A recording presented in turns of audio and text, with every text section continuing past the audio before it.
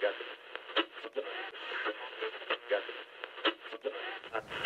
है आकाशवाणी तिरुवनंतपुरम त्रिसुर अल्लापुरा कोचिकुड़े समाचार वार्ताहर के रामचंद्रन के साथ। मुख्यमंत्री के कनारन जी ने इस्तीफा दे दिया है, जिसकी घोषणा शंकुमुखम से एक सार्वजनिक संबोधन में की गई। अब के के एंटनी नए मुख्यमंत्री के रूप में अपना पद संभालेंगे। इस राजनीतिक उथल पुथल के बाद हाईकोर्ट को सौंपे गए उनके बयान के एफिडेविट में तथ्यों की गलत बयानी हुई थी, जो उनके इस्तीफे का कारण बनी।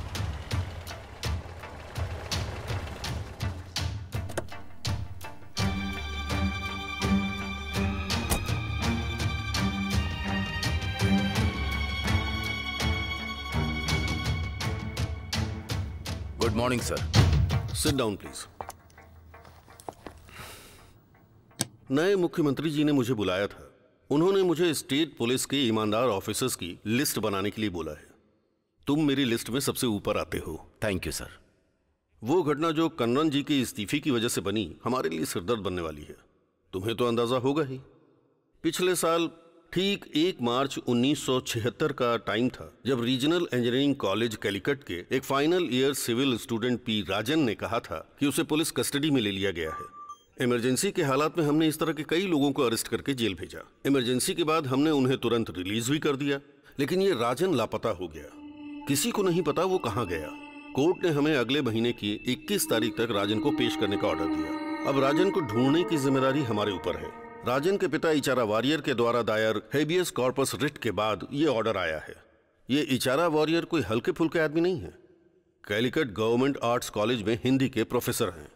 साथ ही वो अर्ली कम्युनिस्ट सपोर्टर भी रहे हैं। इसलिए ऑपोजिशन पार्टी का उन्हें सपोर्ट भी है। हमारा स्टैंड क्या होगा सर? पुलिस का कहना है उन्होंने राजन को कभी कस्टडी में नहीं लिया क्योंकि पुलिस के हिसाब से वो किसी केस में अक्यूज नहीं है। ऐसे में पुलिस उसे कस्टडी में क्यों लेगी? पुलिस डिपार्टमेंट का तो यही कहना है। पुलिस के खिलाफ इन्वेस्टिगेशन करने के लिए केरल पुलिस में कोई ऐसा नहीं है जो इन्वेस्टिगेट करना चाहे। इसीलिए मैं ये केस तुम्हारी टीम को दे रहा हूँ। तुम जैसा शांत और संयमित आदमी ही ऐसे प्रेशर में सरवाइव कर सकता है। जो भी कोर्ट में साबित किया जा सकता है उसका खुलासा होना चाहिए। ये हुआ ऑफिशियल पार्ट और मैं कुछ अनऑफिशियल भी जानना चाहता हूँ। आखिरकार हुआ क्या है? वो जिसे हम कोर्ट में साबित नहीं कर सकते, वो तुम्हें पता लगाना होगा। ये इन्वेस्टिगेशन केस हिस्ट्री के साथ शुरू होना चाहिए। उसके बाद हम कंप्लीट पिक्चर समझ पाएँगे। तुम्हें इन केसेस को स्टडी करना पड़ेगा। इसमें एक्यूज की सारी डिटेल्स हैं। क्या हमें नहीं जानना चाहिए? वो क्या कहना चाहते हैं? ठीक है सर। मुझे भी ऐसा ही लग रहा है। उनके जेल का टर्म लगभग पूरा हो चुका है। उनसे अच्छे से पूछोगे तो वो कोऑपरेट कर सकते हैं। Okay sir. ये है वायनाड। वो जगह जहाँ से सब कुछ शुरू हुआ। यही केरल के सबसे अशांत समय का कारण बनी है। यहाँ की मिट्टी में बहुत सारे मानवतावादियों का सब कुछ दब गया। इस जगह में अब सांस लेना भी खतरनाक है। वायनाड को जानना है तो यहाँ की राजनीति को समझना होगा लोगों को समझना होगा। सर क्या आपने वायनाड देखा है? हाँ देख चुका हूँ। वायनाड वो जगह है जहाँ अमीर लोग शहर से परेशान होकर रिलैक्स के लिए आते हैं। क्या इससे भी अलग आपने असली वायनाड देखा है जिसपे किसी की नज़र नहीं पड़ी? बिल्कुल नहीं। वहाँ मेरी तरह बहुत से लोग हैं और आदिवासी भी हैं जिन्हें इंसानों की तरह जीने की अनुमति नहीं है। हमारे पास अपनी खुद की जगह नहीं होती। जहाँ हम रहते हैं उसके मालिक जमींदार लोग होते हैं। हमारी हालत यह है कि हमें उनका गुलाम बन के काम करना पड़ता है। थोड़े से अनाज के लिए सुबह से शाम तक काम करना पड़ता है एक गुलाम की तरह। दस साल का बच्चा भी पेट की खातिर काम करने को मजबूर है। और तो और जमींदार हमारी बच्चियों का अपहरण भी कर लेते हैं और जब वो पेट से हो जाती हैं तो उन्हें छोड़ देते हैं। अब आप ही बताइए सर कैसी है हमारी ज़िंदगी? तुमने पुलिस को कंप्लेंट क्यों नहीं की? हम्म, अगर हमने पुलिस में कंप्लेन की तो पुलिस वाले भी हमारी औरतों के साथ गलत काम करते हैं। जाति से ऊपर उठकर और राजनीति से ऊपर सभी ने इन लोगों को गुलाम की तरह इस्तेमाल किया। लेकिन कल्लई नदी के किनारे एक कम्युनिस्ट मार्क्सिस्ट पार्टी का लीडर रहता था, जिनका मानना है कि सीपीएम में इच्छा शक्ति का अभाव है। वो कुन्नेल नारायण एक अमीर आदमी था। अपना धन धान्य छोड़कर वो वायनाड में गुलामी को खत्म करने के लिए आगे आए। अपनी पत्नी माथांगिनी और बेटी सजीता के साथ। कुन्नेल नारायण को सीपीएम से तब निकाल दिया गया जब उनकी विचारधारा आतंकवाद के स्तर तक पहुँच गई। लेकिन एक और सीपीएम लीडर ने उन्हें अपना समर्थन दिया, जो कन्नूर जिला में सीपीएम के सेक्रेटरी थे। उनका नाम वर्गीस था। वो एकेजी से खुद ही आकर मिले। एक कम्युनिस्ट की ज़िंदगी ऐसी ही होती है। उसके साथ विश्वासघात होना पीठ में छुरा घोपा जाना ये आम बातें हैं। इसे पार करने वाला ही असली कम्युनिस्ट होता है। तुम्हें वायनाड में पार्टी बनाने के लिए भेजा जाना ही तो प्री प्लान था। त्रिशूर में जो आजी कोडर ने सफलता पाई तुम्हें वायनाड में वही सफलता हासिल करनी है। मैं कोशिश करूँगा। लेकिन जब कम्युनिस्ट पार्टी में बिखराव हुआ तो हम सीपीआई समर्थकों को बहुत बड़ा नुकसान हुआ। ज़्यादातर लीडर फॉलोअर बन गए। अफसोस की बात यह है कि अरविंद मेनन भी कम्युनिस्ट बन गए हैं। क्या हमने कभी उनके लिए कुछ नहीं किया? सच कहा। मैंने भी उनके कामों में हाथ बटाया था। पता है मुझे। मेनन के कन्नूर आने पर उनकी देखभाल करना मेरी ड्यूटी होती थी। हम्म, तुम्हें वायनाइट की समस्या को अच्छे से समझना होगा। एक कम्युनिस्ट हमेशा गरीब लोगों के हक के लिए लड़ता है। अगर तुमने ये किया तो तुम लोगों में मशहूर हो जाओगे। वर्गीज हाल ही में वायनाड गए थे और चोमान वहाँ उनका राइट हैंड था। वायनाड में गुलामों का एक अपना मार्केट भी है साहब। जहाँ गाय बैलों की तरह हमें बेचा जाता है। गुलामों का मार्केट? क्यों? आपको विश्वास नहीं हो रहा है? जहाँ वल्ली और काव मंदिर है ना वहीं यह धंधा होता है। गुलामों की सच्चाई बताने की वजह से उस वर्गीस को सीपीएम से हटा दिया गया। जब नक्सल नक्सलबरी विद्रोह हुआ था तब की बात है। नक्सल नक्सलबरी बंगाल में पड़ने वाला एक गाँव है।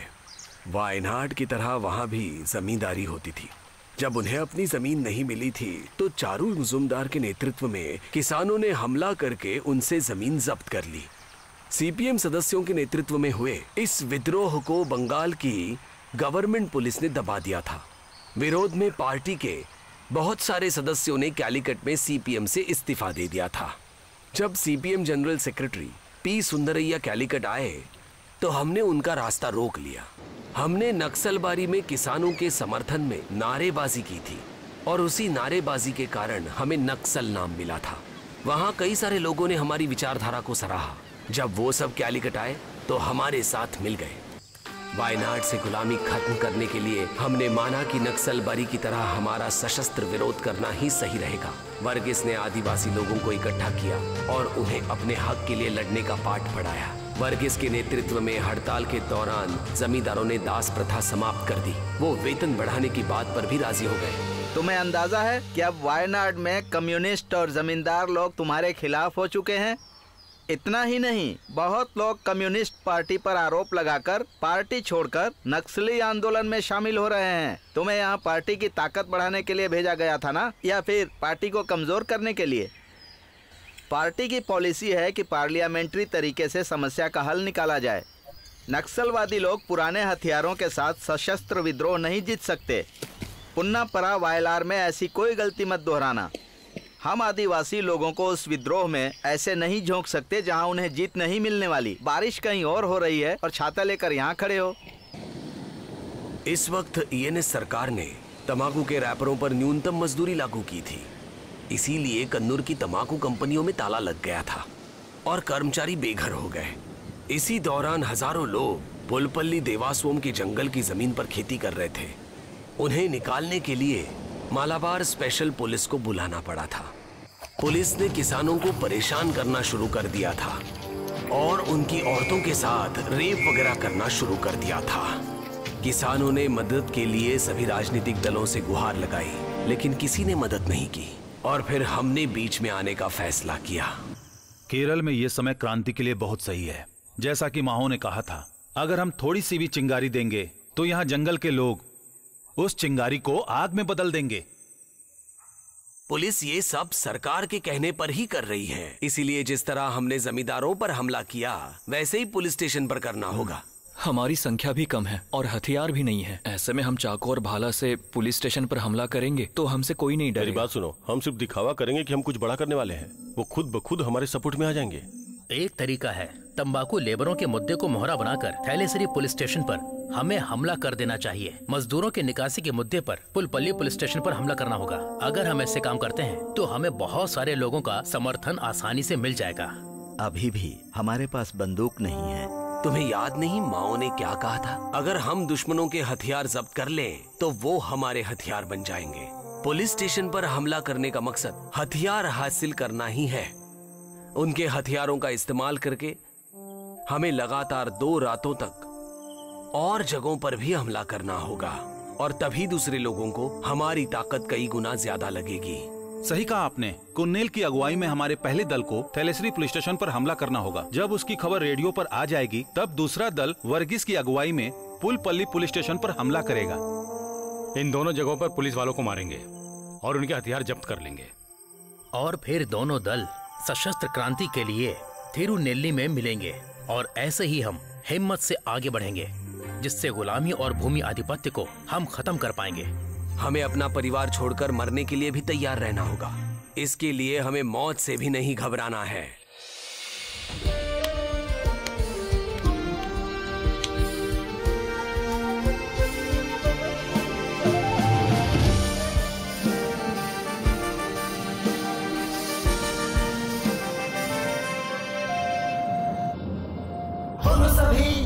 साथ बोलो सभी एक साथ। इनकलाब जिंदाबाद इनकलाब जिंदाबाद।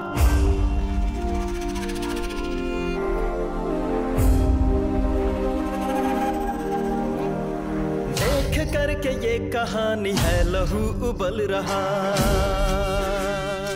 आदमी का कृत्य देख चल रहा है सबका मन। देख करके ये कहानी है, लहू उबल रहा। आदमी का कृत्य देख चल रहा है, सबका मन लड़ेंगे, हम लड़ेंगे, कह रहा है अपना दिल। देख अत्याचार ये जाग उठा है जहाँ, जाग उठा है जहाँ। बोलो सभी एक साथ, बोलो सभी एक साथ। इनकलाब जिंदाबाद, इनकलाब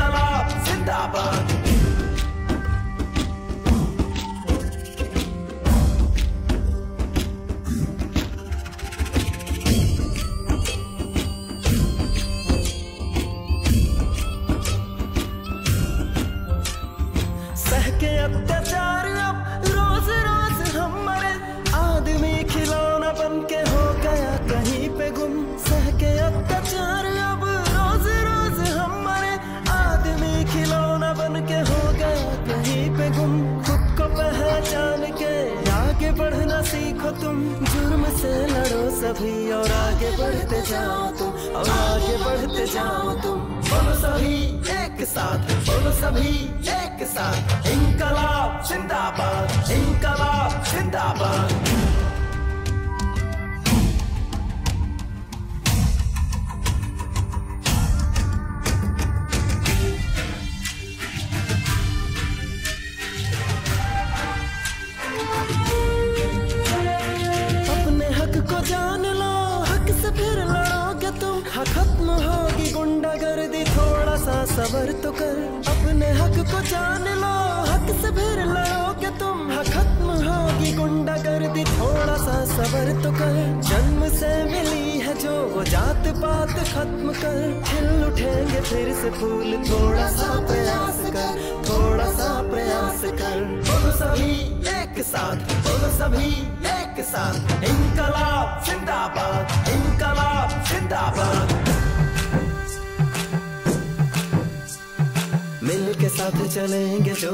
कुछ न फिर मुश्किल हो। मिल के साथ चलेंगे जो कुछ न फिर मुश्किल हो। आओ आओ आओ, ना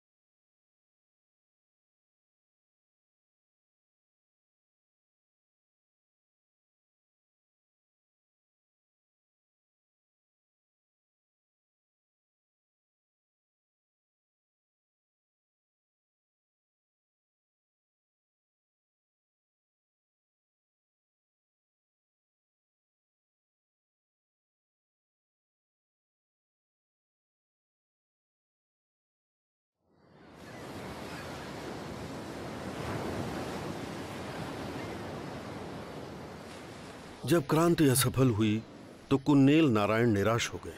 पुलिस ने कस्टडी में लेकर नक्सलियों को बुरी तरह पीटा, जिससे वो हमेशा के लिए अस्वस्थ हो गए और उनमें से कुछ तो मर भी गए। वासु पाँच दिनों तक जंगल में घूमता रहा, बिना ये जाने कि वर्गीस की हत्या हो चुकी है। आखिर में बागान कर्मचारियों ने उसे पकड़ा और पुलिस के हवाले कर दिया। मुझे उन्हीं मजदूरों ने पुलिस के हवाले कर दिया, जिन मजदूरों के साथ मैं कभी काम किया करता था, जिसने मुझे पुलिस की यातना से ज़्यादा चोट पहुंचाई मीडिया ने खबर फैला दी कि पुलिस ने वर्गीस को एनकाउंटर में मार दिया है। लेकिन हमारे नेता जिन्हें सच्चाई पता थी, वो मुख्यमंत्री अरविंद मेनन से मिले। वर्गीस को सशस्त्र मुठभेड़ में नहीं मारा गया था। पुलिस ने ही उसे पकड़कर पहले मारा, उसके बाद उसकी हत्या कर दी। वर्गीस जैसे उच्च नक्सली नेता को मारने का डिसीज़न लक्ष्मी नारायण जैसे पुलिस ऑफिसर की तरफ़ से नहीं आ सकता। यह डिसीज़न राजनीतिक गलियारे से आया था। आपको इसके लिए जवाब देना होगा। वर्गीस के मरने के बाद ही मैंने जाना कि पुलिस ने उसे पकड़ लिया था और मार दिया। लेकिन मैं होम मिनिस्टर कोया से सवाल नहीं कर सकता क्योंकि मुस्लिम लीग के पास 16 एमएलए हैं। अगर मैं सवाल पूछता हूँ तो ये गठबंधन टूट जाएगा। आपको हमारी मजबूरी को भी समझना होगा। उम्मीद है आप वर्गीस को नहीं भूले होंगे। जब आप कन्नूर आते थे याद है वही आपका सूटकेस उठाता था। ये तो सच है लेकिन मैं उन सबको भी नहीं भूल सकता जिन्होंने मेरा सूटकेस उठाया था। बहुत सही। एक समय था जब पुलिस ने आपको भी अपना शिकार बनाया था। जब कोई पुराना क्रांतिकारी मुख्यमंत्री बना था तो उसने नए क्रांतिकारी को मार दिया था। हम्म बढ़िया। कॉमरेड होते हुए भी आप क्रांति को भूल रहे हैं। वर्गीस के खून का बदला लेने के लिए मुंडू रामानूनी सबसे पहले आगे आए। मेहनताना मांगने की वजह से कोंग नाटू के जमींदार ने एक औरत पर बेरहमी से हमला करके उसे ज़िंदा दफना दिया था। फिर हमने उसका सिर कलम करके सीढ़ियों पर रख दिया था। इस घटना के बाद कभी भी ऐसा नहीं हुआ कि किसी जमींदार ने अपने मजदूरों पर हमला किया हो। वेल्ला थुवल स्टीफन ने ऐसी घटना को अंजाम दिया। मैं उस वक्त किलीमनूर भाग गया था और वही छुप गया। हमने चार जमींदारों को एक ही रात में मार डाला था। तो पहली पीढ़ी के नक्सलियों ने ये किया था। हम ये नहीं कह सकते कि नक्सलियों का मकसद सिर्फ़ मर्डर करना ही था। वो सिर्फ़ इन बुरे लोगों को ही मार रहे थे। हालाँकि हत्या करना गलत है लेकिन कोर्ट ने भी माना कि कोंगनाटू के जमींदार मौत की सजा के काबिल हैं। तो क्या उन नक्सलियों के पास न्याय का कोई दूसरा रास्ता है? क्या तुम्हारा मतलब है कि सशस्त्र क्रांति तर्कसंगत है? तर्कसंगत तो है ही। देश की आज़ादी के बाद 20 साल के लिए वायनाड से गुलामी खत्म हो गई थी। यहाँ तक कि कॉन्स्टिट्यूशन पुलिस और कोर्ट के साथ होने पर भी हम गुलामी खत्म नहीं कर सके। लेकिन नक्सली गोलियों के दम पर हमेशा के लिए गुलामी खत्म कर सकते थे। इसीलिए हथियारों के बिना भी क्रांति तर्कसंगत है। गुलामी खत्म करना और भूमि सुधार में तेज़ी लाना नक्सलियों की बहुत बड़ी सफलताएँ हैं। केरल के मजदूरों को भारत के दूसरे प्रदेशों की अपेक्षा ज़्यादा मानवीय अधिकार मिलते हैं। ये तब हुआ जब नक्सलियों ने मालिक को इज़्ज़त देने का पाठ पढ़ाया। वर्गीस को मारने की हमारी अथॉरिटी क्या थी? नए टैलेंटेड युवाओं को सशस्त्र क्रांति में धकेलने के लिए हमारी पुलिस और सरकार दोनों बराबर रूप से जिम्मेदार हैं। हालाँकि वेल्ला थुवल स्टीफन के अरेस्ट होने के बाद सारे नेता जेल की हवा खा रहे थे। इसके बाद नक्सली मूवमेंट लगभग खत्म होने पर आ गया था। लेकिन उस वक्त नक्सल मूवमेंट में बहुत सारे लोगों ने हिस्सा लिया था ना? हाँ वो नक्सलियों की नई पीढ़ी से थे। अधिकतर कॉलेज स्टूडेंट्स थे। ये वो हैं जिनसे मुझे आगे मिलना है। पर उससे पहले पता लगाना होगा कि राजन कौन है।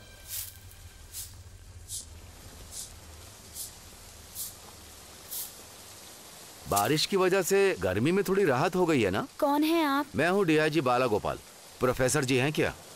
नहीं वो सब लोग अस्पताल गए हुए हैं। ठीक है तो फिर मैं बाद में आ जाऊँगा। हाँ।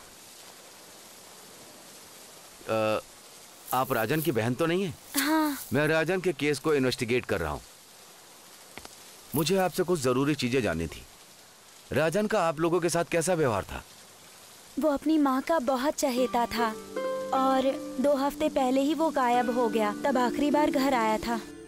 मेरा मुल्क, मेरा देश, मेरा ये वतन। शांति का, उन्नति का, प्यार का चमन। इसके वास्ते है निसार ये मेरा तन, मेरा मन। इसके वास्ते है निसार ये मेरा तन मेरा मन।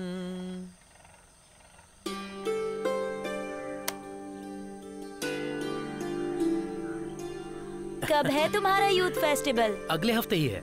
और जोनल फेस्टिवल? हाँ इस बार वो फेरो कॉलेज में होगा। माँ तुम्हारे पास पैसे हैं क्या? मैं कहाँ से लाऊँगी पैसे? अपने पापा से पूछ लेना। ये कैसे होगा माँ? ये तो अभी भी पापा के सामने जाने से घबराते हैं। चल जा। ये डर ज़रूरी भी है। अच्छे बच्चों में ही ये डर होता है सिर्फ़।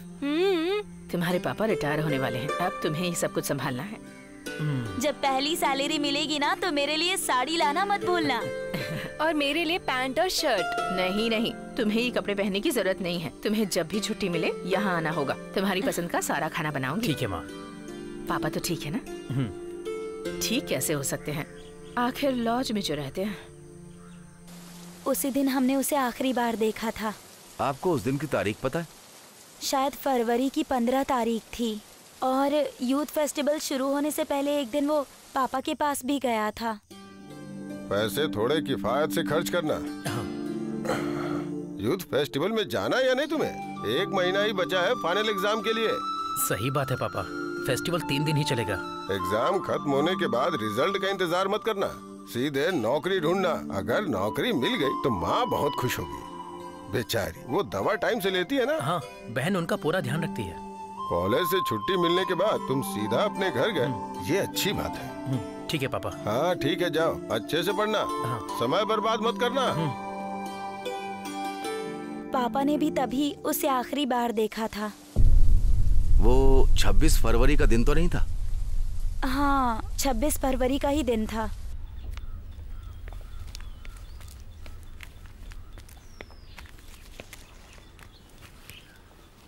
तुम्हारा नाम मधु है क्या? हाँ। क्या तुम आरईसी म्यूज़िक टीम में थे? हाँ। मैं राजन के केस की इन्वेस्टिगेशन कर रहा हूँ। तुमसे थोड़ी देर बात कर सकता हूँ। मैं पॉलिटिक्स से नहीं जुड़ा था। पता है मुझे। इसीलिए तुमसे बात करने आया हूँ। एक पॉलिटिकली अनबैज स्टूडेंट आरईसी के मामले को कैसे समझता है? ओ। क्या हम चलते हुए बात कर सकते हैं? मौसम भी अच्छा है।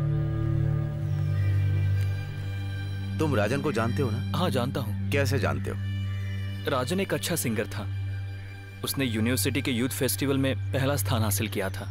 हम आरईसी म्यूज़िक टीम में एक साथ गाया करते थे। वैसे राजन कैसा इंसान था? वो ज़्यादा बात नहीं करता था। थोड़ा गुस्सेल भी था। सेकेंड ईयर में वो एसएफआई पैनल में आर्ट्स क्लब सेक्रेटरी बन गया था।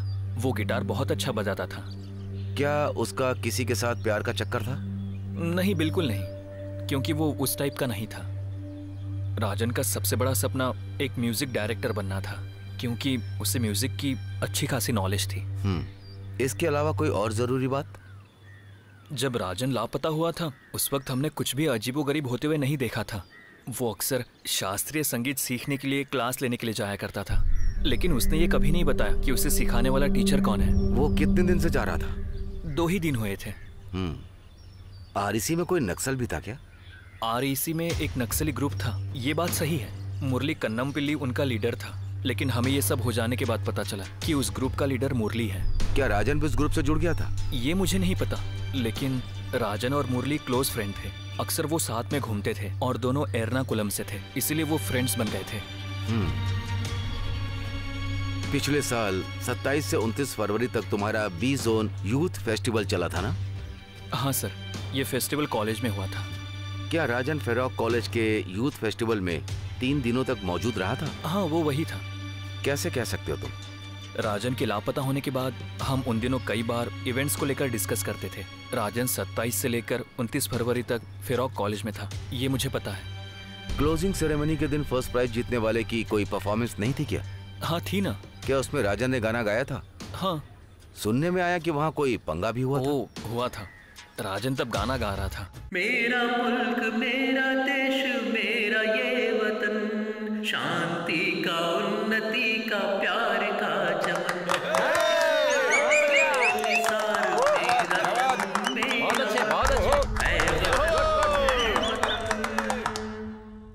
ये सुनने के बाद मिनिस्टर नाराज़ हो गए और वहाँ से चले गए। बस इतना ही हुआ था। मैंने सुना था कि मिनिस्टर की इंसल्ट करने के बाद उसे अरेस्ट कर लिया गया था। ये तो नहीं पता लेकिन वो गाना गाने के बाद ही राजन लापता हो गया था।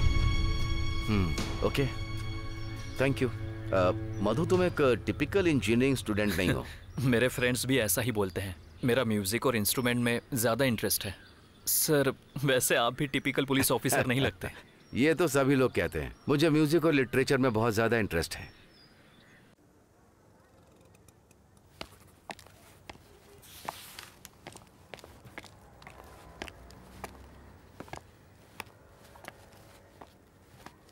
राजाराम? यस मैंने आपको कॉल किया था। Oh welcome sir. Thank you लग रहा है आप काफ़ी बिज़ी हैं। आप साइट के इंजीनियर हो। मैंने डिस्टर्ब तो नहीं किया। ऐसा कुछ नहीं है सर। मुझे जितना पता है वो बताने में मुझे खुशी होगी sir. Thank you I appreciate that आप और राजन दोनों क्लासमेट थे ना? हाँ। आप लोग एसएफआई के स्ट्रॉन्ग मेंबर थे ना? फिर आप नक्सली सपोर्टर कैसे बन गए? उसकी वजह मुरली कन्नाम पिल्ली था। डेनमार्क में इंडियन एम्बेसडर का नाम पिल्ली मेनन थे। मुरली उन्हीं का बेटा था। लेकिन उसे कभी भी इस बात का घमंड नहीं हुआ। अपार संपत्ति होने के बाद भी उसके लिए लोगों की समस्याएँ प्रमुख थीं। मुरली की विचारधारा और उसका सादा जीवन हर किसी को पसंद था। मुरली एसएफआई एक्टिविस्ट था, पर उसने नक्सली आंदोलन में हिस्सा ले लिया और साथ ही हम भी शामिल हो गए। तो क्या राजन नक्सली था? अक्सर ऐसा होता था कि राजन और मैं मुरली की क्लास अटेंड करते थे। फिर राजन और मैं वहीं से नक्सलियों के सपोर्टर बन गए। आरईसी में केवल मुरली को ही सबसे बड़ा समर्थन मिला था। राजन और मुझे कभी इतना समर्थन नहीं मिला था। सिर्फ़ आरईसी नहीं लेकिन कैलिकट मेडिकल कॉलेज मादा पिल्ली कॉलेज के पास क्या नक्सली यूनिट्स काम करते थे? हाँ बिल्कुल सर। तुम्हारी तरह होशियार लड़के अपने फ्यूचर की परवाह ना करके नक्सली आंदोलन में क्यों शामिल हो गए? बता सकते हो मुझे? बेरोजगारी इसके पीछे की मेन वजह थी।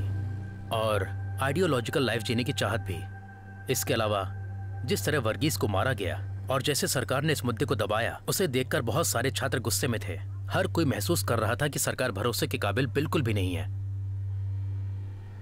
क्या तुम वेणु को जानते हो? हाँ जानता हूँ। क्या कभी मुलाकात हुई?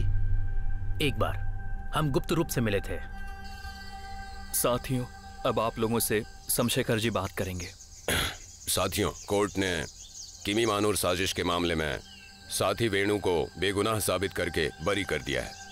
ये सभा वेणु के स्वागत के लिए रखी गई है, जो कालीकट डिस्ट्रिक्ट का चार्ज संभालने वाले हैं। ये जानना रोमांचक है कि हमारे साथी मुरली ने कालीकट के आरईसी में एक यूनिट का गठन किया था। अब मुरली आपको मेंबर्स के बारे में बताएँगे। ये है जोसेफ चाली।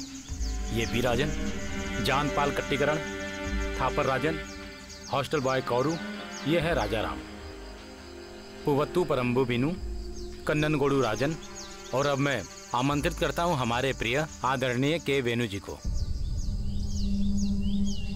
दोस्तों हमारे ग्रुप में दो वेणु और चार राजन हैं। ये मुझे काफ़ी दिलचस्प लगा सच में अच्छा है। मैं चाहता हूँ कि हर कोई इस आंदोलन का गौरव बने। एक वही टाइम था जब मैंने वेणु को देखा था। उसके बाद क्या हुआ था? इमरजेंसी की घोषणा। जो सुना है वो सच है। चुनाव रद्द करने के खिलाफ इंदिरा गांधी की अपील सुप्रीम कोर्ट ने खारिज कर दी है। उसमें सी आर विष्णु अय्यर जज हैं वही ये कर सकते हैं। इसका मतलब इंदिरा गांधी को इस्तीफा देना चाहिए। हाँ लेकिन इसे दरकिनार करके बंगाल के चीफ मिनिस्टर सिद्धार्थ शंकर रॉय ने अपना एक सुझाव रखा कि जितनी जल्दी हो सके इमरजेंसी की घोषणा कर दी जाए। इमरजेंसी की घोषणा? हाँ संविधान में ऐसा सेक्शन है। अगर इमरजेंसी घोषित हो जाती है तो नागरिक अपने मूल अधिकार से पूरी तरह वंचित हो जाएँगे जिसके बाद बेवजह भी किसी को गिरफ़्तार करके उन्हें जेल में डाला जा सकता है। यहाँ तक कि कोर्ट भी उसमें कोई दखल नहीं कर सकता। सुनने में अच्छा लग रहा है। किसी को भी हड़ताल या विरोध जताने का हक नहीं मिलेगा। यहाँ तक कि हम मीडिया और न्यूज़ ब्रॉडकास्ट को भी सेंसर कर सकते हैं। ऐसे में पुलिस की पावर बहुत बढ़ जाती है। दुश्मनों को रोकने का ये अच्छा मौका है। इमरजेंसी घोषित होती है तो अरेस्ट करने वालों की लिस्ट बनानी होगी। जैसे कम्युनिस्ट नक्सली, वामपंथी बुद्धिजीवी, सबको जेल पहुंचाना होगा।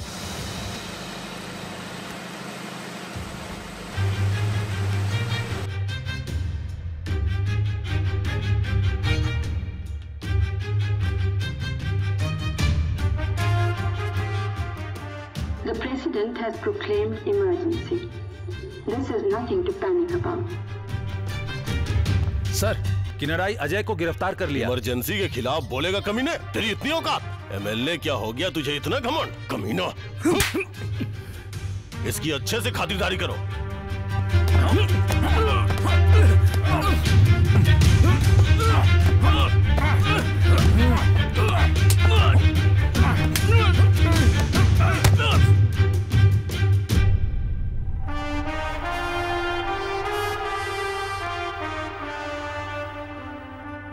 तुम्हारी वाइफ की फैमिली के साथ मेरा लंबे समय से संबंध रहा है और मैंने वही लगाव तुम्हारे प्रति भी रखा है। जानता हूँ सर। तो मेरे प्रति तुम वही नजदीकी और लगाव रखते हो? बिल्कुल रखता हूँ। हम्म। मुझे अपनी ही पार्टी से डर है बजाय ऑपोजिशन पार्टी के। एक विचारधारा वाला महात्मा मुझे गिरते हुए देखना चाहता है। वो और चीफ मिनिस्टर मेनन ने इंदिरा गांधी से शिकायत की है कि मैं जैसा चाहता हूँ वैसे ही गृह विभाग को चला रहा हूँ। मेरे खिलाफ और भी पता नहीं क्या क्या बोला है। अगर ऐसा है भी तो कौन सी बड़ी बात है? मैनन जिस कुर्सी पर बैठा है, उसका हकदार तो मैं हूँ। मैं ये भूलने वाला नहीं हूँ।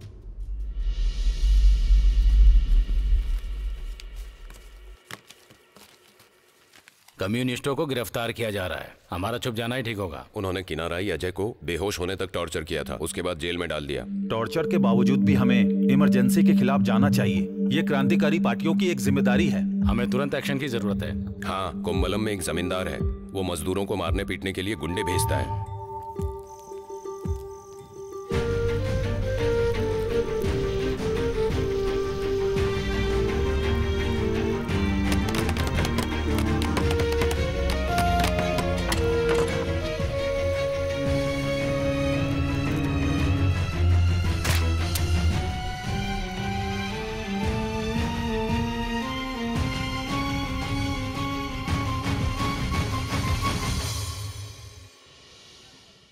पुलिस बिना किसी वजह के पार्टी के समर्थकों को गिरफ़्तार कर रही है। ये भी नहीं पता कि उन्हें कहाँ ले गई है। गठबंधन की वजह से हमारी पार्टी को भी इसका जवाब देना होगा। दूसरा पक्ष क्यों नहीं देख रहे हो? कहीं भी कोई हड़ताल नहीं कर रहा। फैक्ट्रीज में लेबर प्रॉब्लम नहीं है। ट्रेन बिल्कुल टाइम पर चल रही हैं। गवर्नमेंट ऑफ़िस में अच्छे से काम चल रहा है। पहली बार हम इतना डिसिप्लिन देख रहे हैं। लोग इस इमरजेंसी की तारीफ़ कर रहे हैं। पता है क्या तुम्हें? एक न एक दिन आपको इसकी कीमत चुकानी पड़ेगी। याद रखिएगा।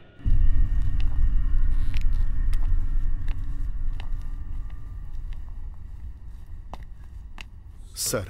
हम्म बैठ जाओ। कुंभलम में जो हुआ वो नक्सली हमला था सर। मैंने ही इसकी पुष्टि की थी। जमींदार को उनके हवाले नहीं किया गया इसीलिए उन्होंने उसके भाई को मार दिया।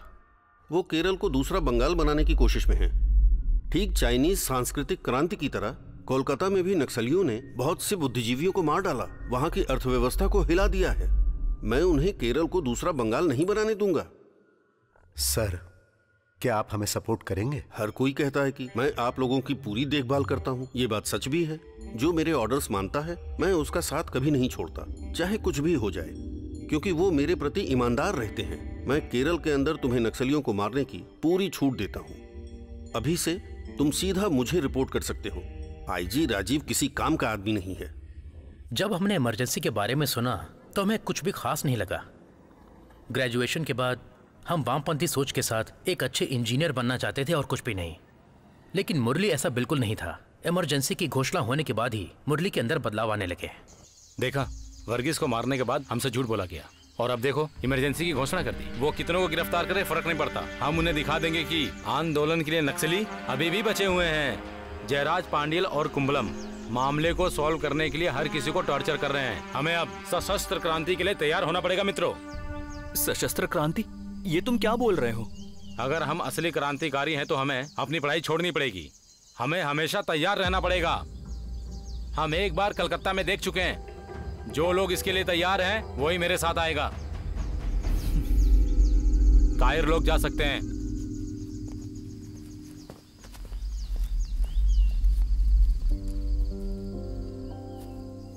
दोस्त, सशस्त्र क्रांति हम कैसे ला सकते हैं? अगर ऐसा किया तो पुलिस हमें छोड़ेगी नहीं। तुम ये बात क्यों नहीं समझते हो? हम अच्छे वामपंथी की तरह काम करते रहेंगे, और तुम राजनीति के चक्कर में अपनी पढ़ाई मत छोड़ो। कुछ दिनों के बाद ही सीपीएम का सीनियर लीडर आया और उसने कहा कि मुरली का प्लान खतरनाक है और हमारी भलाई उससे दूर रहने में है।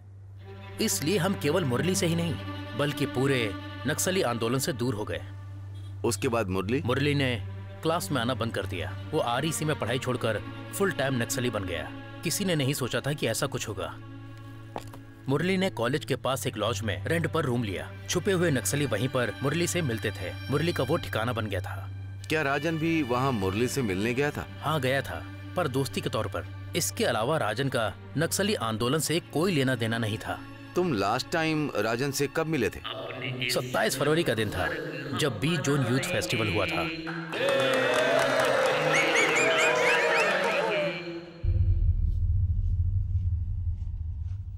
सर वहाँ एक सीरियस डेवलपमेंट हुई है। सर आज नक्सलियों ने कयन्ना पुलिस स्टेशन में सुबह सुबह हमला किया है। कायन्ना स्टेशन? हाँ सर। जिसमें चार पुलिस वालों को चोटें आई हैं लेकिन कोई सीरियस नहीं है। फिर भी सीरियस मुद्दा कुछ और ही है। नक्सली हमारे पुलिस वालों से दो बंदूकें छीन कर ले गए। उसका इस्तेमाल करके आने वाले दिनों में वो और भी हमला करेंगे सर। उनके ऐसा करने से पहले हमें बंदूकें लेनी होंगी। तुम अभी के अभी कयन्ना चले जाओ और सारे नक्सलियों को गिरफ़्तार करो किसी भी कीमत पर। हमें अगला हमला रोकना होगा। Sir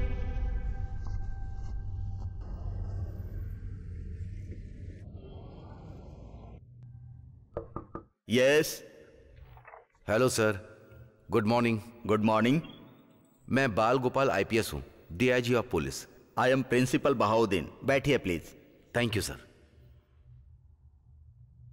मैं सीधे मुद्दे पर आता हूँ। मैं राजन के केस के लिए आया हूँ। पिछले साल फरवरी 29 तारीख को राजन फेरो कॉलेज में रात भर था।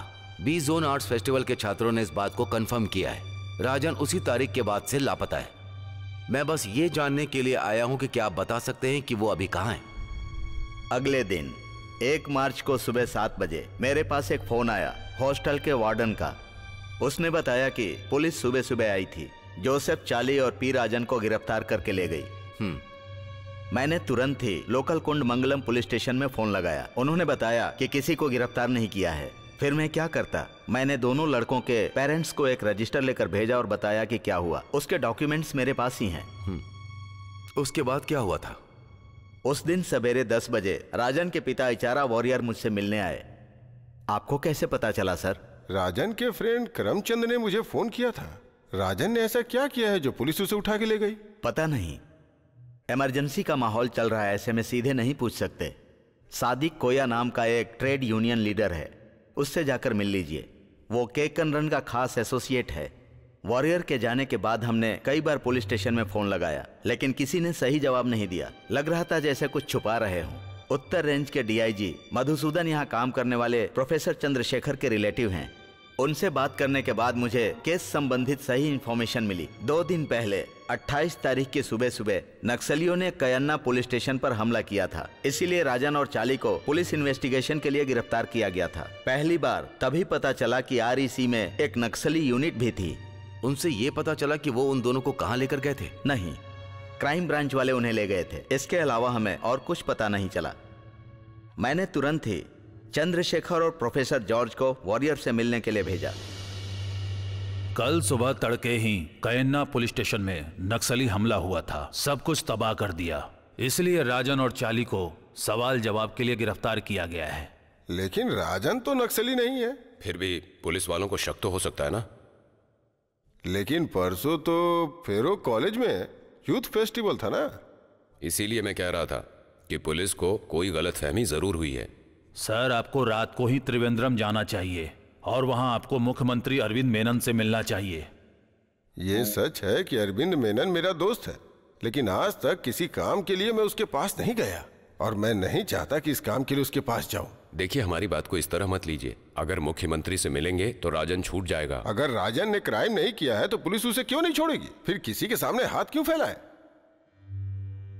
प्रोफेसर वॉरियर एक सीधे साधे इंसान है। वो कभी भी कुटिल तरीका नहीं अपनाते। वे मामले की गंभीरता को नहीं समझ पाए थे। इसके अलावा हम भी उन्हें समझाने में नाकामयाब रहे। जयराज पांड्यल उस वक्त क्राइम ब्रांच का हेड था। इसीलिए मैंने सादिक कोया से पांड्यल का पता पूछा। ये बहुत ही सीरियस मामला है। पुलिस बहुत सारे लोगों को गिरफ़्तार कर रही है। वो उन्हें पूछताछ के लिए कक्कायम ले जाते हैं। वहाँ पुलिस वालों ने कैंप खोला है, सीक्रेट कैंप और वो जयराज पांडियल इन्वेस्टिगेशन के लिए वहाँ पर कक्कायम आईबी में रह रहा है। मैंने तुरंत वॉरियर सर को इसकी जानकारी दी। वो सीधा कक्कायम के लिए निकल गए। तो क्या उन्हें वहाँ राजन मिला था? नहीं सर मुझे वहाँ राजन नहीं मिला। वहाँ पांडियल मिला? पुलिस वालों ने किसी से मिलने ही नहीं दिया। जब मैंने बहुत जिद की तो निगरानी करने वाले पुलिसकर्मी ने बताया कि वो ठीक है। लेकिन बहुत कोशिशों के बाद भी राजन से मिलना संभव नहीं हो पाया। लेकिन मुझे इस पर विश्वास नहीं हुआ। उस समय राजन मेरा फेवरेट स्टूडेंट था। ये मेरे डिपार्टमेंट की बात थी। उसके बाद चार मार्च को मैं और प्रोफेसर गफूर पांडियल से मिलने के लिए कायम गए। राजन एक नक्सली था। जब हम सुराग जमा कर रहे थे तो राजन जीप से निकलकर भाग गया। अब वो कहीं छुप गया है।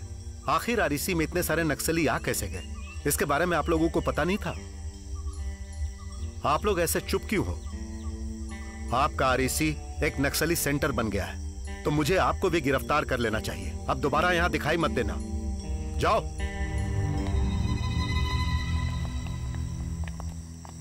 और अगर तुम लोग नहीं माने तो मैं तुम्हारा कॉलेज बंद करवा दूँगा।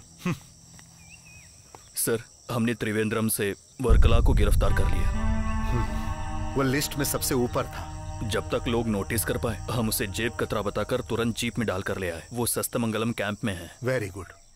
मैंने बस इतना ही किया था। उसके बाद क्या हुआ वॉरियर सर को पता होगा। उसके बाद आपने जोसेफ चाली को कब देखा था? कक्कायम कैंप बंद हो गया तो उन लोगों को कन्नूर जेल में ले जाया गया। इमरजेंसी के बाद वे सभी छोड़ दिए गए थे और अगले दिन जोसेफ चाली मुझसे मिलने आया था लेकिन राजन नहीं आया था।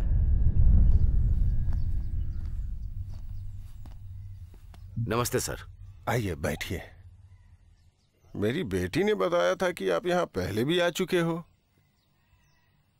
ये मेरे भाई हैं माधव। वारियर। नमस्ते। आ, मैं कुछ चीज़ जानने के लिए आया हूँ। उस दिन कक्कायम से लौटने के बाद आपने क्या किया था सर? मार्च तीन तारीख की बात है जब मैं कक्कायम गया था लेकिन राजन से मुझे मिलने नहीं दिया गया। इसलिए वहाँ से निकलकर मैं होम मिनिस्टर साहब से मिला। हमारे प्रोफेसर मित्र के ज़रिए ये मीटिंग हुई थी। हाँ जी जनाब। राजन नाम से ऐसा लगता है वो किसी सीरियस मामले में शामिल था। नहीं सर। हमारा राजन ऐसा लड़का नहीं है। जब कयन्ना पुलिस स्टेशन में हमला हुआ था तो वो फेरू कॉलेज में पार्टिसिपेट कर रहा था। ओ ये बात मुझे पहले क्यों नहीं बताई? अगर ऐसा होता तो मैं उसे तभी बचा मैं लेता। अपने बेटे से मिलना चाहता हूँ। चिंता मत करो। मैं हर संभव प्रयास करूँगा। हमारे रिश्ते आखिर इतने पुराने जो हैं मुझे अभी निकलना होगा। उस दिन कनरन से मिलने के बाद सादिक कोया का फ़ोन आया।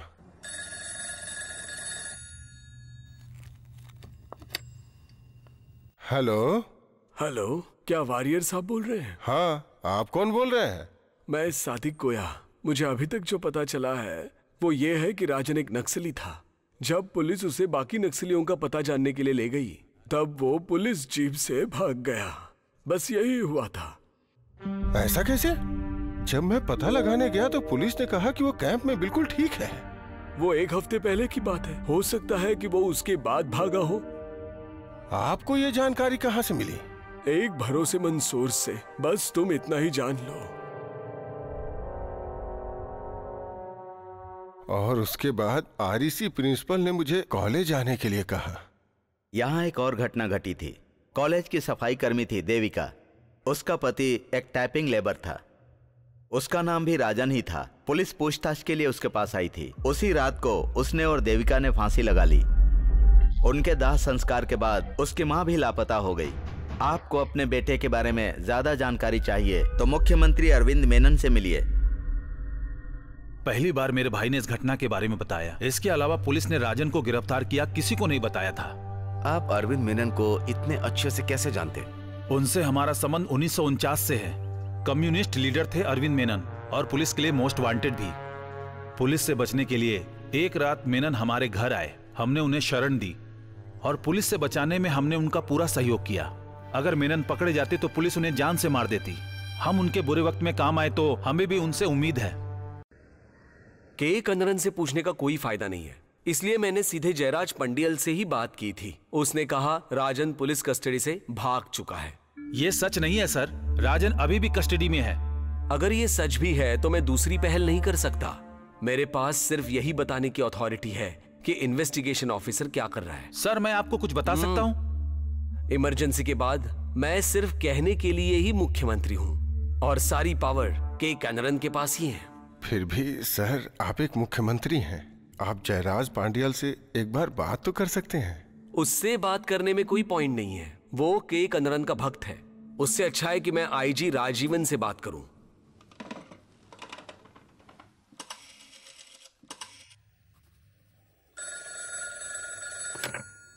हेलो।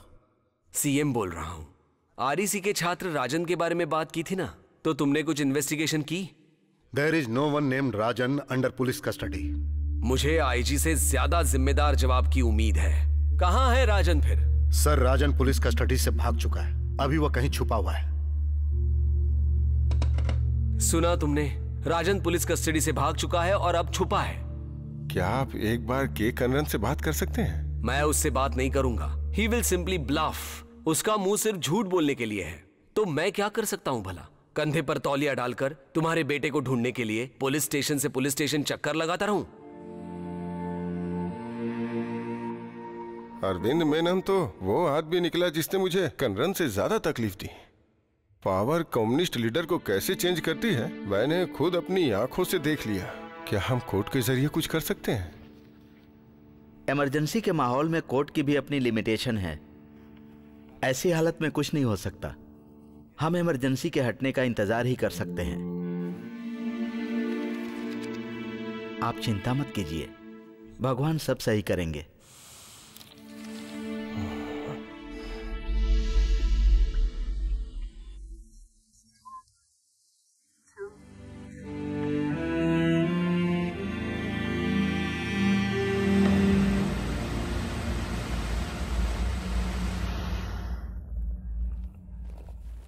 आपने आज की न्यूज़ सुनी? इमरजेंसी हटा दी गई है। अब हम राजन को वापस लाने के लिए कोर्ट में बहुत जल्द हैबेस कॉर्प्स फ़ाइल करेंगे। अब चिंता मत कीजिए, मैं सब कुछ संभाल लूँगा। 19 मार्च को इलेक्शन है। इमरजेंसी के बाद कोर्ट में सबसे पहला केस राजन का ही जाएगा, जिसका फ़ायदा हमें मिलेगा। एडवोकेट रवि कुमार मेरे संबंधी हैं। इमरजेंसी हटने के ठीक तीन दिनों के बाद ही उन्होंने राजन के केस को फ़ाइल कर दिया। और अगले दिन ही एक मेजर टर्निंग पॉइंट आया। आज एक बड़ी डेवलपमेंट हुई थी। केरल विधानसभा में राजन के केस पर चर्चा हुई, जब बालूसरी एमएलए पी के शंकरन कुट्टी और किनाराई अजयन ने राजन के केस के बारे में पूछा तो के कनरन बोला, राजन गिरफ़्तार ही नहीं हुआ है। ये जानकारी टी के रामकृष्णन ने मेरे सीनियर ईश्वर अय्यर को दी। उनका कहना था कि के कनरन पर भी आरोप लगना चाहिए। देखते हैं क्या होता है।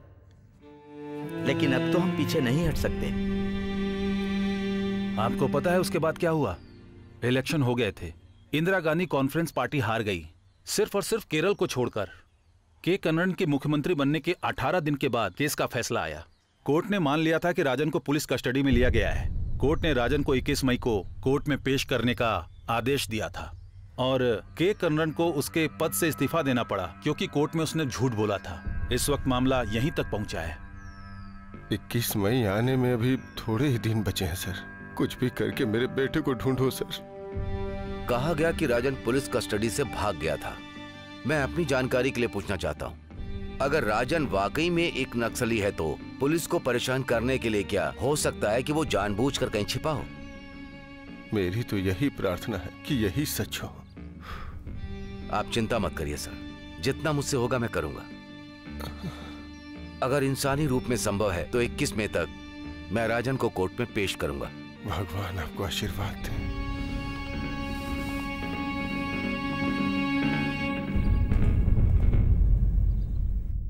क्या हम वॉरियर जी से किया वादा निभा सकते हैं? ज़रूर निभाएँगे सर। राजन अभी भी सीक्रेट रूप से पुलिस की कस्टडी में है। बहुत से लोगों के अलावा यहाँ तक कि पूर्व मुख्यमंत्री अरविंद मेनन का भी यही मानना है। मैं तुम्हें असिस्ट करने के लिए एक बहुत ईमानदार टीम दे रहा हूँ। SP Ahmed Kunju DYSP Anto CI Parameswaran. Hello thank you sir court में साबित करने के लिए हमें जो भी चाहिए उसकी ज़िम्मेदारी तुम्हारी। और जैसा कि मैंने पहले तुम्हें बताया अनऑफिशियली जो भी हुआ वो मैं जानना चाहता हूँ। चाहे वो किसी से भी रिलेटेड हो। इसे कोर्ट में प्रूव करना पॉसिबल नहीं होगा। फिर भी हर हाल में सच जानना तुम्हारा काम है। सर हमें एक ऑफ़िस दिया गया है। तो क्या ये वही है सर नहीं नहीं। वो तो कैलिकेट पीडब्ल्यूडी रेस्ट हाउस में है। हम यहाँ कहाँ बैठ सकते हैं? तुम लोग सिचुएशन जानते हो? हम शेर के पिंजरे में जाने वाले हैं। डिपार्टमेंट के खिलाफ बड़ी बात है। यहाँ दुश्मनों की कोई कमी नहीं होने वाली। वहाँ कुछ खतरे पहले से ही मौजूद हैं। अच्छा। देखिए आप उसे जाने दीजिए। खतरे तो हर केस में होते ही हैं। तो बताइए कहाँ से शुरुआत करें? टॉप डाउन या बॉटम अप टॉप से नो डाउट तो पहले आता है अनंत स्वामी। वही होम सेक्रेटरी ना? हम्म। केवल प्रत्यात्मक रूप से मैं पहला आरोपी होने वाला हूँ। हम आईएएस अधिकारी सिर्फ़ पुलिस और पॉलिटिकल लीडरशिप के बीच में कम्युनिकेट करते थे। बस हमारा इतना ही काम था। इसके अलावा कुछ भी नहीं पता। क्या इचारा वॉरियर ने आपको कंप्लेंट दी थी? हाँ दी थी। जिसे आईजी को हैंडओवर कर दिया था। फिर आपने आईजी की रिपोर्ट किसे फॉरवर्ड की थी? होम मिनिस्टर के कर्नन को। मैंने क्या क्राइम किया है? ये नक्सली थे जो अगली सुबह अपने दुश्मनों का सिर काट कर सड़क किनारे प्रदर्शन कर रहे थे। ऐसे तो हालात थे। नक्सलियों को दबाना किसी भी होम मिनिस्टर की ड्यूटी होती है। मैंने बस वही तो किया था। ये आपको कब पता चला कि राजन को कस्टडी में लिया गया? पुलिस ने मुझे कभी सूचना नहीं दी कि राजन पकड़ा गया है और यही सच है। अगर ये मुझे समय पर पता चल जाता तो मैं समस्या सुलझा देता। इचारा वारियर मेरे पुराने मित्र हैं। मैं बिना किसी को परेशान किए इस समस्या को निपटा देता। तो आपने कोर्ट में गलत सूचना के साथ एफिडेविट क्यों दिया था? मुझे नहीं पता था कि वो पूरी तरह से गलत था। आईजी राजीव ने जो मुझे रिपोर्ट दी उसके मुताबिक राजन को कभी कस्टडी में नहीं लिया गया था। मैंने बस वही जानकारी अदालत को बताई थी।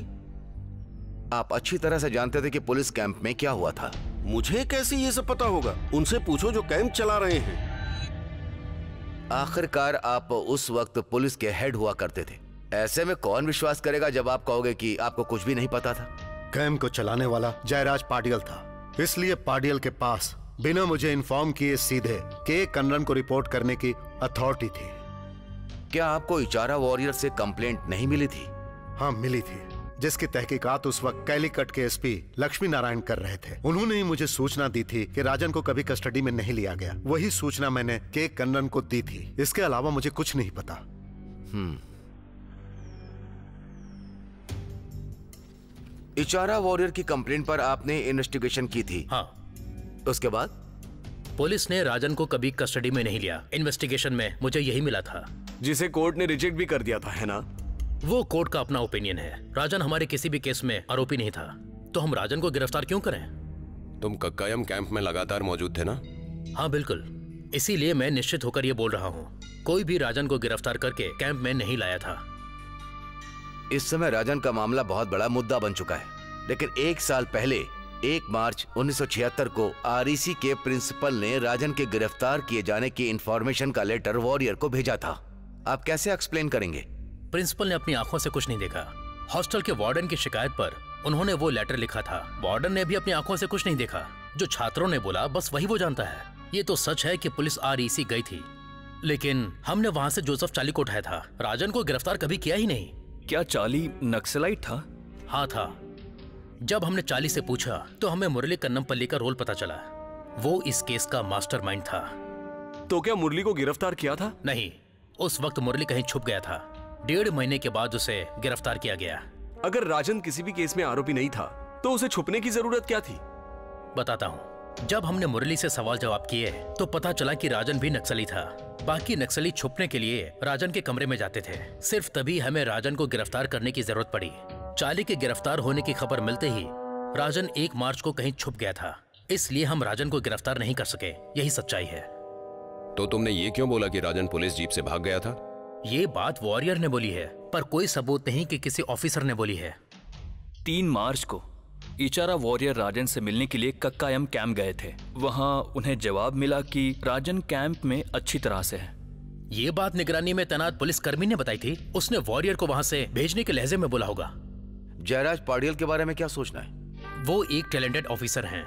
एमबीबीएस की पढ़ाई करने के दौरान ही उन्हें आईपीएस का मौका मिला और उन्होंने पढ़ाई छोड़कर आईपीएस ज्वाइन कर लिया। उन्होंने बहुत सारे हाई प्रोफ़ाइल केसेस को सॉल्व किया है और उनकी ट्रेनिंग स्कॉटलैंड यार्ड से है। ये तो पता ही होगा। पाड़ियल करप्ट आदमी है क्या? बिल्कुल नहीं। उनकी वाइफ एक छोटा सा व्यापार कर रही थी। उनके पास रॉ मटेरियल खरीदने तक के पैसे नहीं थे। लेकिन पांडियल ने कभी भी अपनी पोजीशन का इस्तेमाल करके बैंक से लोन नहीं लिया। घर के मामले को उन्होंने घर तक ही रखा। क्लीन रिकॉर्ड होने के बाद भी इतनी सारी कंप्लेंट्स उनके खिलाफ है? सच्चाई बाहर निकालने के लिए आरोपियों को ज़्यादा टॉर्चर देते हैं। ये पांड्यल के मामले में थोड़ा नेगेटिव हो जाता है इसलिए हर कोई उनसे नफरत करता है। अगर मेरे खिलाफ कोई चार्ज साबित नहीं हुआ तो मैं आपके सुपीरियर ऑफिसर के रूप में वापस यहाँ ज़रूर आऊँगा। यह तुम मत भूलना आप मेरे सवालों का सही जवाब नहीं दे रहे। राजन कहाँ है? मुझे नहीं पता। क्या आपने आरईसी प्रिंसिपल को नहीं बताया था कि राजन पुलिस की जीप से भाग गया था? साबित करने के लिए आपके पास कोई सबूत है? तो साबित करो।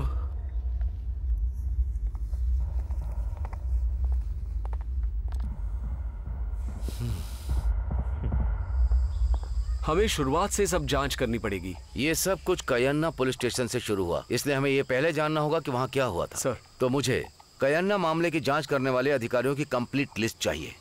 इसके साथ उनकी फ़ोटो उनकी नोटबुक टूर डायरी सब कुछ। मैं इंतज़ाम करता हूँ। इस बीच मैं कुछ और चीज़ों को कंफर्म कर लूँगा।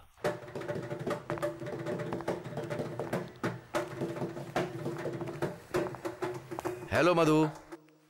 सर आप? Hi sorry for the disturbance. तो तुम यहाँ प्रैक्टिस करते हो? हाँ सर। तुम्हारे पापा ने बताया था। बैठे रहो बैठे रहो।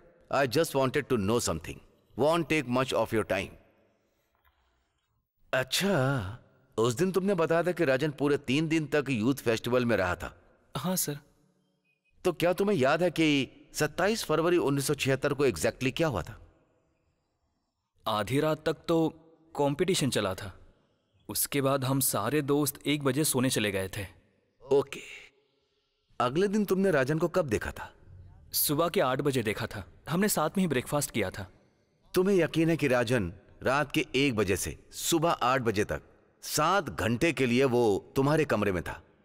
कुछ कह नहीं सकता सर क्योंकि हम सब सो रहे थे। हम्म। अगले दिन तुम्हें राजन थका हुआ या नींद में नज़र आ रहा था? नहीं सर वो तो एक्टिव लग रहा था। जैसा कि वो आर्ट्स क्लब का सेक्रेटरी था इसलिए आरएससी टीम के लिए तमाम चीज़ें करने की ज़िम्मेदारी थी।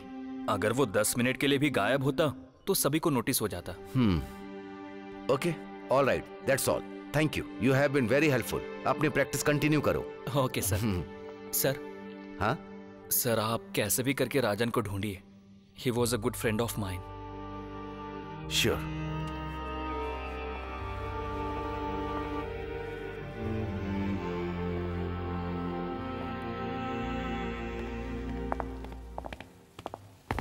sir मैं हूँ sub inspector BT Gomez please sit जब कयन्ना स्टेशन में हमला हुआ था तब आप वहाँ स्टेशन एसआई थे? हाँ सर। वहाँ उस दिन एग्जैक्टली क्या हुआ था? समय था साढ़े तीन एम अट्ठाईस फरवरी 1976 उसी रात को वो लोग वहाँ आए थे।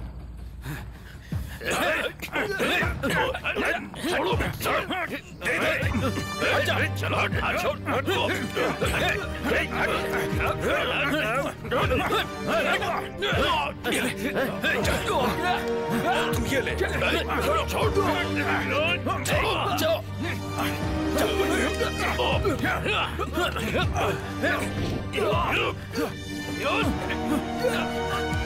चलो। हमारा कोई भी साथी अंदर तो नहीं रह गया। बचाओ।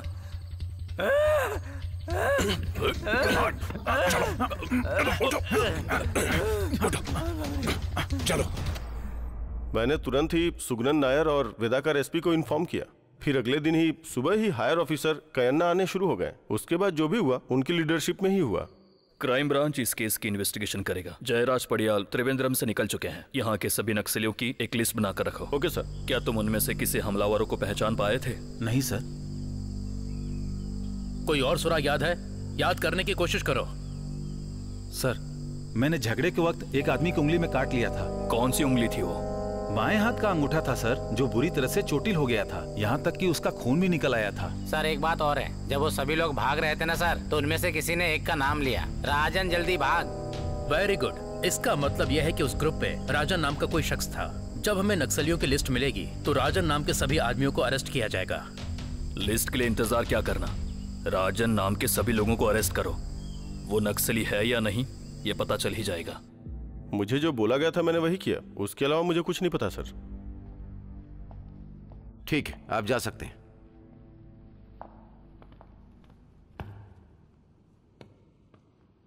सर आपके मांगे हुए रिकॉर्ड्स अब हम डीएसपी कुंजमन नाम्बियार को बुला सकते हैं। ओके बुलाओ उन्हें।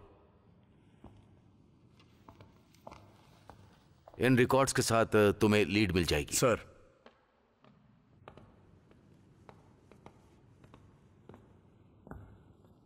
हम्म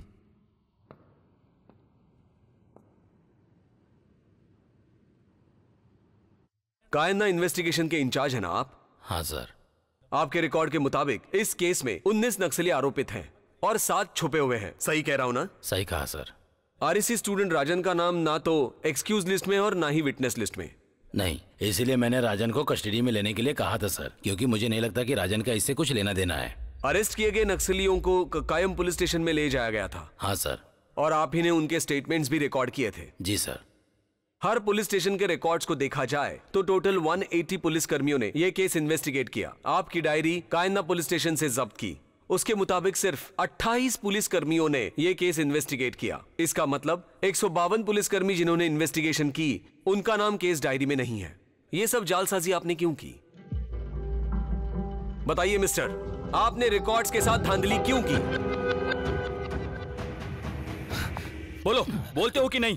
हम भी पुलिस वाले हैं। हम भी जानते हैं कि सवाल कैसे करते हैं। देखना चाहते हो? क्योंकि तुमने कागजों में धांधली।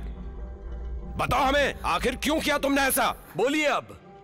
जयराज पाटिल दोपहर दो बजे के बाद कयन्ना पहुँचे थे सर। और उसके बाद इन्वेस्टिगेशन अलग ही लेवल पर की।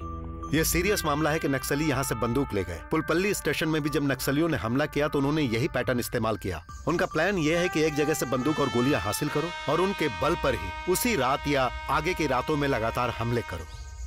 ये एक तरीका है अपनी छोटी ताकत को बढ़ाने का। इसीलिए हमें उन्हें बहुत ही जल्दी पकड़ना होगा और थर्ड डिग्री टॉर्चर करके पूछना होगा कि बंदूकें कहाँ हैं। नहीं तो वो किसी भी वक्त अगला हमला कर सकते हैं। क्या तुम ही लोकल एसआई हो? हाँ सर। मूसल बनाने के लिए किसी बढ़ई को ढूंढो। अभी के अभी। यस सर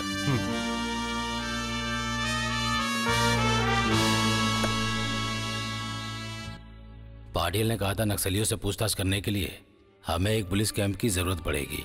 वो एक सीक्रेट जगह होने वाली थी जहाँ उसके पास ना कोई रहता हो और ना ही उसके पास कोई जा सके। उनकी ऐसी रिक्वायरमेंट थी।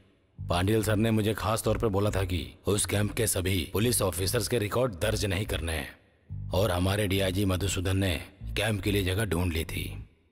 ये कैंप कहाँ लगाए गए थे? कक्कायाम में के के पास इंस्पेक्शन के लिए बंगला था। आईबी जहाँ पाइडियल और बड़े ऑफिसर रुकते थे। आईबी से लगभग दो फलांग दूर केएसबी की स्टोरेज बिल्डिंग है। वही बिल्डिंग पुलिस कैंप बना दी गई थी। हमलावरों का चिल्लाना जल्दी भागो राजन ये हमारे लिए स्ट्राइकिंग था। इसलिए हमें यकीन था कि उनमें से किसी का नाम राजन है। इसलिए हमने कयन्ना एरिया में जितने भी राजन नाम के लोग थे उन्हें अरेस्ट किया। सबसे पहले हमने कनन गोड राजन को अरेस्ट किया। वो छठा मंगलम में टाइपिंग इंस्टीट्यूट चला रहा था और वो एक नक्सली था। तुम्हें ये कैसे पता चला कि वो एक नक्सली है? पहले हमने कुछ नक्सली लोगों को त्रिवेंद्रम से गिरफ़्तार किया था। तभी सस्ता मंगलम में उनसे पूछताछ करने के बाद हमें ये इन्फॉर्मेशन मिली। नक्सलियों ने कनन गोड में राजन के घर पर एक बार मीटिंग की थी। वहीं से उन्होंने कयन्ना पुलिस स्टेशन पर हमला करने का प्लान बनाया। और इसीलिए हमने उसे अरेस्ट किया था। उसके इंस्टीट्यूट से हमें नक्सल साहित्य भी मिला था। हम उसे कैन्ना पुलिस स्टेशन लेकर आ गए।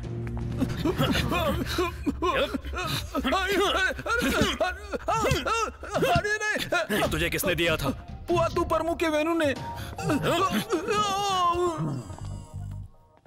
मुरली कनन दास कनन गोड राजन को लेकर निकल गया।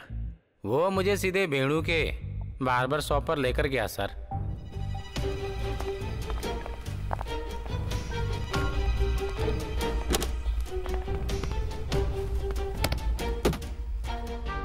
वो मुझे ककायाम पुलिस कैंप लेकर गए। वहाँ उन्होंने मुझे बहुत टॉर्चर किया जब वो लोग मुझसे बंदूकों के बारे में पूछ रहे थे। बड़े ऑफिसर साहब सामने वाले कमरे में ही बैठे थे। उनके पीछे तीन से चार कमरों में हम जैसे लोगों को टॉर्चर किया जा रहा था। कांस्टेबल सुमन सबसे ज़्यादा बेरहम थे। तुमने कैदियों को इतना टॉर्चर क्यों किया? उनसे सच्चाई उगलवाने के लिए सर। लेकिन इतना करने के बाद भी उन्होंने सच नहीं कबूला। फिर जयराज पाडियल ने हमसे उन्हें रोल करने के लिए बोला। रोल करने के लिए? हाँ सर। पाडियल जी के बोलने पर बढ़ई ने दो अच्छे मुसल बनाकर भेजे थे, सर। पाडियल जी ने ही हमें उस मुसल का इस्तेमाल करना सिखाया। हमने पुआतू परमू को बेंच पर बांधा, उसके बाद हमने उसकी जांघों पर पूरी ताकत के साथ मूसल चलाना शुरू किया। वो चिल्लाने लगा। वो चिल्ला ना पाया, इसलिए हमने उसके मुँह के अंदर शर्ट डाल दी। दस मिनट तक मूसल से रोल करने के बाद उसकी मांसपेशियाँ हड्डियों से अलग होने लगी। उस समय उसकी तकलीफ़ को देखना हमसे भी नहीं हो पा रहा था। उसके बाद इंट्रोग्रेशन हुआ। पांडियल के हाथ में एक नुकीली पेंसिल थी। अगर उन्हें महसूस होता कि नक्सली सही बोल रहे हैं, तब तो कोई प्रॉब्लम नहीं थी। लेकिन अगर झूठ मिलता तो पांडियल सर वही नुकीली पेंसिल उसकी जांघों में चुभा देते। नर्क में पहुँचने जैसा दर्द होता है। जब दर्द सहन नहीं होता तो सच्चाई उगल देते हैं। उन्हें टॉर्चर इतना करो कि उसे लगे वो मर जाएगा। लेकिन उन्हें जान से नहीं मारना। जब कोई ज़िंदगी और मौत के बीच की सीमा में पहुँच जाता है तो उसके अंदर जीने की इच्छा बहुत ज़्यादा हो जाती है। और ठीक उस समय हर कोई सच्चाई उगल देता है। जैसा पांडियल सर ने सोचा वैसा ही हुआ। जब नक्सलियों से दर्द सहन नहीं हुआ तो उन्होंने सच्चाई उगल दी। उन्होंने सारे नक्सलियों का नाम बता दिया। तभी उन्होंने कबूला था कि आरएसी में वो नक्सली ही थे। तो वो कौन थे आपको पता है? मुरली कन्नम पिल्ली का नाम सबसे पहले था। और भी सवाल करने पर उन्होंने जोसेफ चाली का नाम बताया। आखिरी नाम पी राजन उन्होंने बोला कि पी राजन एक नक्सली था। हाँ सर। राजन का नाम सुनने के बाद पांडियल सर एक्साइटेड हो गए और उन्हें पूरा विश्वास हो गया कि उस कयन्ना पुलिस स्टेशन के अटैक के पीछे आरएसी के ही छात्र थे। सबको पता था कि मुरली कन्नम पिली कहाँ छुपा हुआ है। इसीलिए उसी रात पुलिस को जोसेफ चाली और पी राजन को पकड़ने के लिए आरएसी भेजा गया। उस रात आरएसी कौन कौन गया था? मुझे नहीं पता है सर। उस वक्त मैं रूम के पीछे के साइड में था। ठीक है तुम जा सकते सर सर आरईसी में जितने भी ऑफिसर गए उनमें से किसी का भी नाम रिकॉर्ड में नहीं है। हमें एक काम करना होगा। एंटो तुम्हें आरईसी में इन्वेस्टिगेशन करनी है। जी सर। परमेश्वरन तुम कक्का में। सर।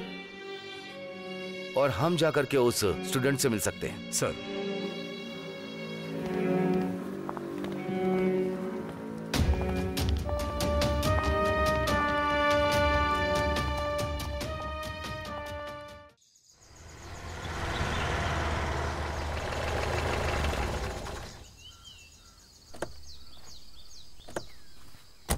थॉमस जॉर्ज तुम ही हो? हाँ सर।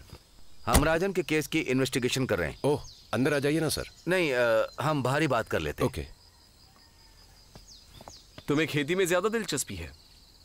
मुझे नहीं पिताजी को है। थॉमस तुम अभी क्या करते हो? फाइनल ईयर के एग्ज़ाम्स हुए हैं अब नौकरी तलाश रहा हूँ। अब बताओ क्या राजन तुम्हारा दोस्त था? नहीं राजन मुझसे एक साल सीनियर था। हम केवल हॉस्टल में ही मिलते थे। लेकिन चाली मेरे बैच में था। पिछले साल एक मार्च को तुमने क्या देखा था? वहाँ मेरा रूम हॉस्टल के ग्राउंड फ्लोर पर था। सुबह के वक्त यही कोई साढ़े चार बजे होंगे। कॉरिडोर में बूट्स की आवाज़ सुनकर मैं जाग गया।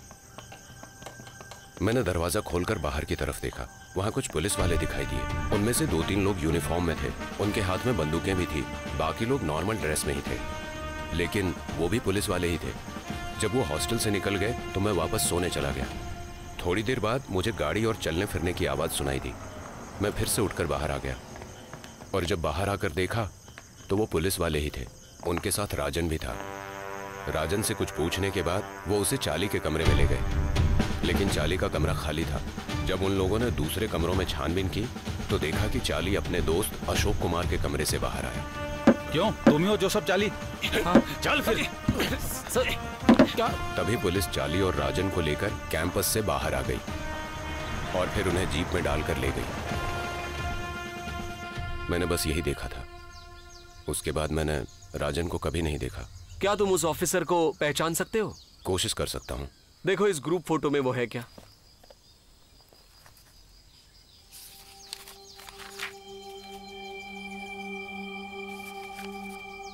यही है सर।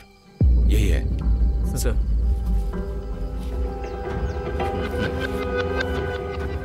केवल तुम ही एक गवाह हो जिसने बताया कि पुलिस राजन और चाली को लेकर गई थी। बाकी लड़के गवाही के लिए आगे क्यों नहीं आए? हर कोई डरता है सरकार और पुलिस के खिलाफ जाने से। मुझे भी लोगों ने सलाह दी थी कि मैं किसी को कुछ न बताऊँ। फिर तुमने बहादुरी क्यों दिखाई बता सकते हो? वो उसका कारण क्या है? यही कोई दो महीने पहले एक घटना हुई थी सर।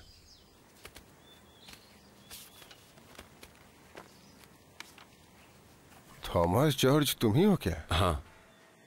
मेरा नाम इचारा वारियर है जिसे पुलिस ने अरेस्ट किया है उसी राजन के पिता हूँ। क्या तुमने पुलिस को राजन को ले जाते हुए देखा था? हाँ। क्या ये बात तुम कोर्ट में बोल सकते हो? एग्ज़ाम में अब कुछ ही दिन बचे हैं इसीलिए इस समय कोर्ट में आना मुश्किल होगा। हर कोई यही बात बोल रहा है। किसी पिता के साथ ऐसा नहीं होना चाहिए। इस बाप के ऊपर तरस करो बेटा।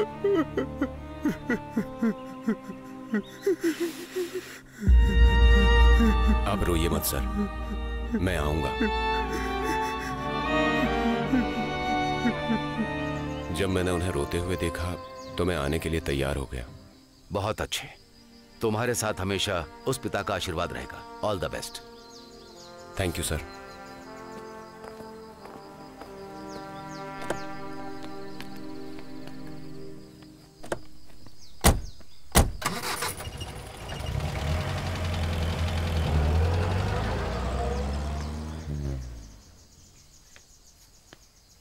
एक बात तो तय है एक मार्च तक राजन को कस्टडी में ले लिया गया।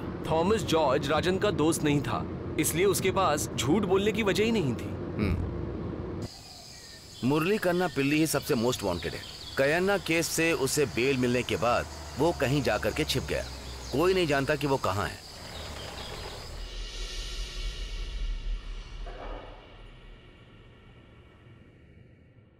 टी बाला सुब्रमण्यम है ना? हाँ सर। आरईसी में पार्ट टाइम स्वीपर था। एक मार्च की सुबह तुमने क्या देखा था?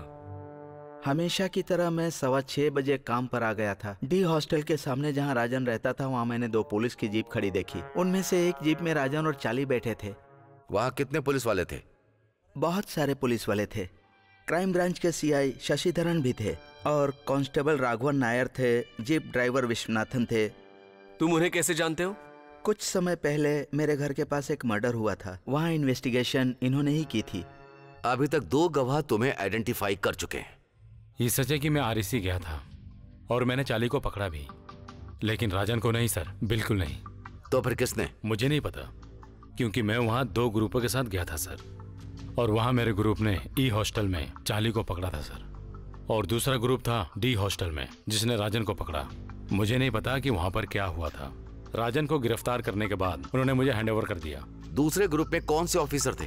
क्राइम ब्रांच और लोकल डिपार्टमेंट उसमें से कई सारे ऑफिसर थे।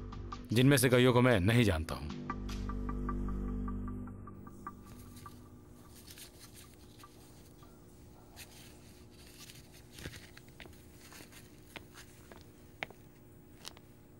मैंने कल भी आपको देखा था।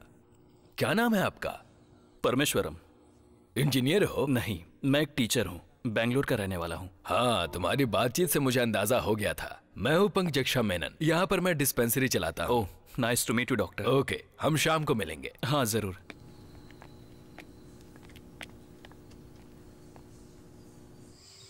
तो उस दिन तुमने कुछ भी नहीं देखा? नहीं सर नहीं ठीक देखा है था। कोई बात नहीं। सर क्या आप राजन के केस की इन्वेस्टिगेशन कर रहे हैं? हाँ। मैं सीपीएम का लोकल सेक्रेटरी हूँ। ये सत्यम है। आरईसी में लॉन्ड्री वर्कर है अच्छा। ये आपसे कुछ बात करना चाहता है।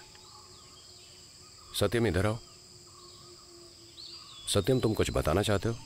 राजन को हॉस्टल से अरेस्ट नहीं किया गया था सड़क पर से किया गया था। आगे बताओ सत्यम।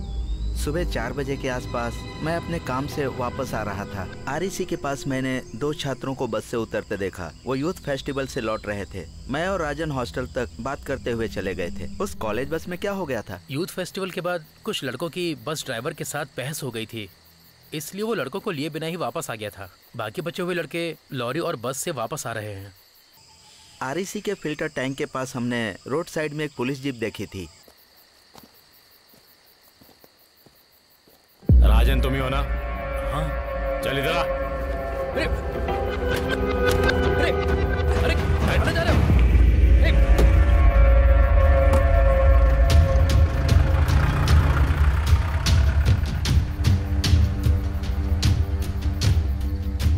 मैंने तुरंत ही ई हॉस्टल में जोसेफ चाली को खबर की। चाली ने तुरंत अपना कमरा खाली कर दिया। उसके बाद मैं पोल्ट्री फार्म के पास लॉज में गया और मामले की जानकारी दी। वहाँ पर कौन कौन था? समशेखरम और वासु वो लोग भी इसका पता चलते ही तुरंत भाग गए थे। क्या तुम भी नक्सली हो? नहीं मैं उन सबको जानता हूँ क्योंकि मैं लॉन्ड्री वाला हूँ। इधर आओ।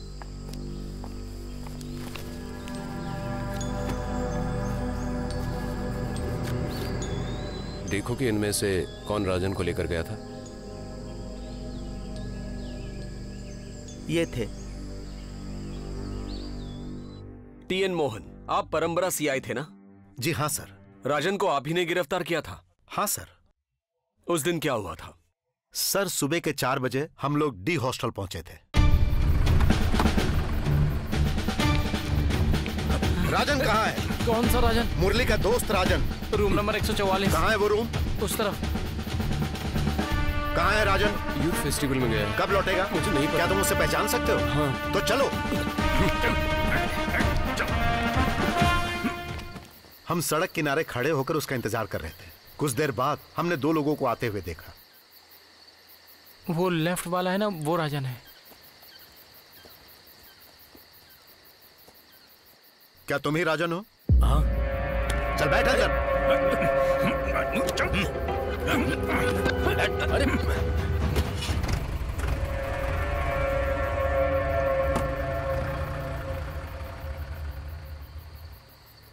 फिर हमने उसे क्राइम ब्रांच के शशिधरन को हैंड ओवर कर दिया और वो चाली की तलाश में राजन को ई हॉस्टल ले गए। और फिर क्या हुआ? मुझे नहीं पता सर। मेरी ड्यूटी सिर्फ़ राजन को अरेस्ट करके क्राइम ब्रांच को सौंपना था। उसके बाद क्या हुआ था मुझे नहीं पता। मुझे पता है सर। उसके बाद जो भी हुआ था। मेरा नाम वासु है। आरईसी में कैशियर था। पोल्ट्री फार्म के पास एक लॉज है जहाँ नक्सली भाड़े पे रूम लेके रहते थे सर। एक मार्च को लगभग सुबह के छह बजे उस लॉज के सामने पुलिस की दो गाड़ियाँ खड़ी थी। उनमें से एक गाड़ी में चाली बैठा था और दूसरी गाड़ी में राजन था। उसके बाद? पुलिस पहले चाली को फिर राजन को उस लॉज रूम में ले गई और फिर दोनों को बहुत मारा पीटा। सड़क पे जा रहे लोगों को उनकी आवाज़ें साफ़ सुनाई दे रही थी। नक्सलियों की एक मैगजीन है इंकलाब नाम की। उसी लॉज रूम से वो मैगजीन को साइक्लो स्टाइल करते थे। फिर उन्होंने राजन और चाली को अपनी जीप में बैठाया और साथ लेके चले गए। क्या तुम उन ऑफिसरों को पहचान सकते हो? पहचान सकता हूँ। पोल्ट्री फार्म हाउस के पास राजन और चार्ली को जीप में ले जाने वाला मैं ही था सर। सबसे पहले होटल महारानी के अपने कमरे में ले गए। उसके बाद एक मार्च की रात को कक्कायम कैंप ले गए। तुम उस कैंप में कब तक रुके थे? मैं तुरंत वापस आ गया था सर। जो नक्सलियों को कस्टडी में ला रहे थे उन्हें कैंप में हैंडल नहीं करना था। तो फिर वहाँ पर कौन कौन था? मैं वहाँ फ्रंट रूम में ही गया था सर। वहाँ मैंने जयराज पाडियल लक्ष्मी नारायण मुरली कन्ना दास और कंजुमन नाम्बियार और मधुसूदन बस इनको ही देखा था सर। मैं राजन और चाली को उनके पास छोड़कर चला आया था। और उसके बाद क्या हुआ मुझे पता नहीं है सर।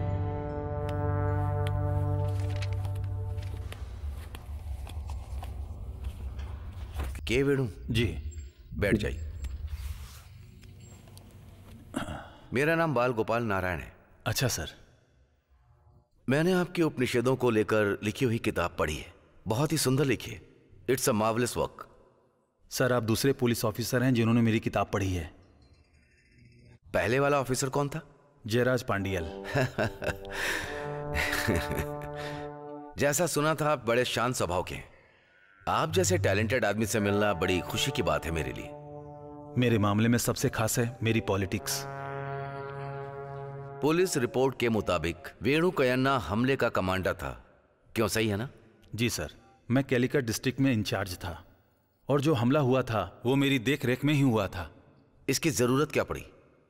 इमरजेंसी के खिलाफ विरोध के लिए हमने ये किया। तलासारी से कयन्ना तक जितने भी हमले हुए थे वो इसी के प्रतीक थे।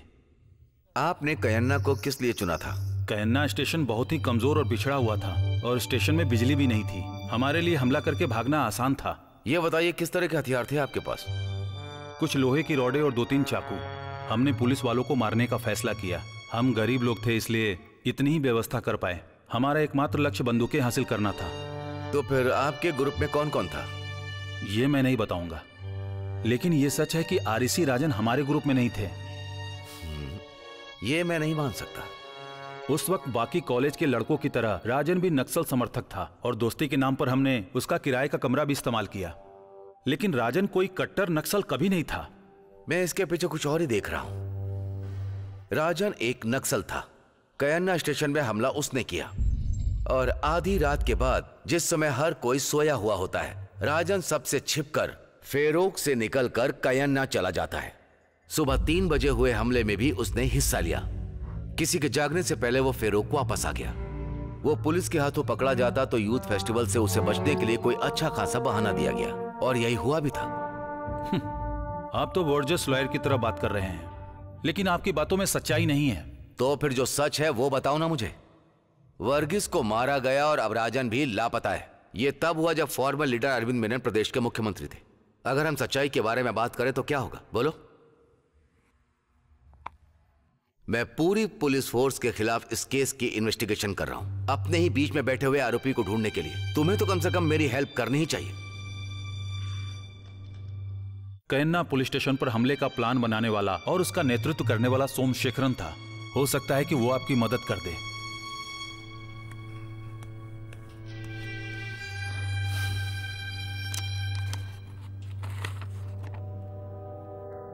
एवं सोमशेखरन है ना? हाँ सर। बैठ जाओ। तुम मदापल्ली कॉलेज में पढ़ते थे ना? हाँ। ये इन्वेस्टिगेशन तुम्हारे खिलाफ नहीं है। तुम जो कुछ भी बताओगे उससे तुम्हें कोई नुकसान नहीं पहुँचने वाला। समझ गया सर। कयन्ना केस में पुलिस की बनाई हुई चार्ज सीट के मुताबिक तुम सबसे पहले अक्यूज थे। हाँ। हमले का प्लान तुमने ही एग्जीक्यूट किया था ना? हाँ सर। कयन्ना से ली हुई बंदूकें तुमने कहाँ छिपाई थी? बताओ मुझे। हड़बड़ाहट के चलते हम बंदूकें अंधे कुएँ में डालकर वहाँ से भाग गए थे। आरईसी का राजन क्या तुम्हारे ग्रुप में था? नहीं। तो क्या पुलिस झूठ कह रही है कि राजन उनकी कस्टडी में नहीं था? तो क्या हम इसे साबित कर सकते हैं? और अगर पुलिस ने कोई गलती की होगी तो हम उन्हें भी गिरफ़्तार कर लेंगे। उसी वक्त कुछ वजह ऐसी हैं जिन्हें देखकर लगता है कि कयन्ना में जो हमला हुआ था, उसमें राजन ने भी हिस्सा लिया था। किसी के पास इसका जवाब नहीं कि राजन रात के एक बजे से सुबह आठ बजे तक इन सात घंटों में वो फेरो कॉलेज में था या नहीं। बिना किसी जानकारी के ऐसा भी हो सकता है कि राजन ने कॉलेज से निकलकर हमले में हिस्सा लिया लड़कों के जागने से पहले वो कॉलेज में वापस आ गया था। क्या ऐसा हुआ था, बताओ? नहीं, राजन हमारे ग्रुप में नहीं था। तुमने कुछ नौजवान लड़कों को हिंसा के लिए प्रेरित किया था, क्या यह बात सच नहीं है? यह उसी का नतीजा है। मैंने सारे नक्सलियों की गवाही पढ़ी है। कुल मिलाकर तुम्हारे ग्रुप में पंद्रह मेंबर्स थे। उनमें से अमीर अली को मिलाकर दो लड़के एक रिवॉल्वर हथियाने गए थे। बाकी बचे हुए तुम्हारे बारह मेंबर्स को मैं पहचान सकता हूँ। वेणु ही तुम्हारा कमांडर था और तुम सबसे पहले आरोपी। उसके बाद Achyutam. V K Prabhakaram, Ashokan, TT Sugathan Raghavan Vatsarajan Appukutty PP Rajan और कोचू राजन, कुन्नेल कृष्णन और भरतन। इस तरह ये बारह मेंबर्स हो गए, लेकिन तेरहवें मेंबर को मैं अभी भी नहीं पहचान सकता। कहीं वो आरईसी का राजन तो नहीं था? मुझे बताओ, क्या राजन ही वो तेरहवा आदमी था? नहीं, मैं ये नहीं बता सकता। जैसा आपने वादा किया था आप लोग पहले असली गुनहगार को अरेस्ट करेंगे उसके बाद बताऊँगा कि वो तेरहवा आदमी कौन था।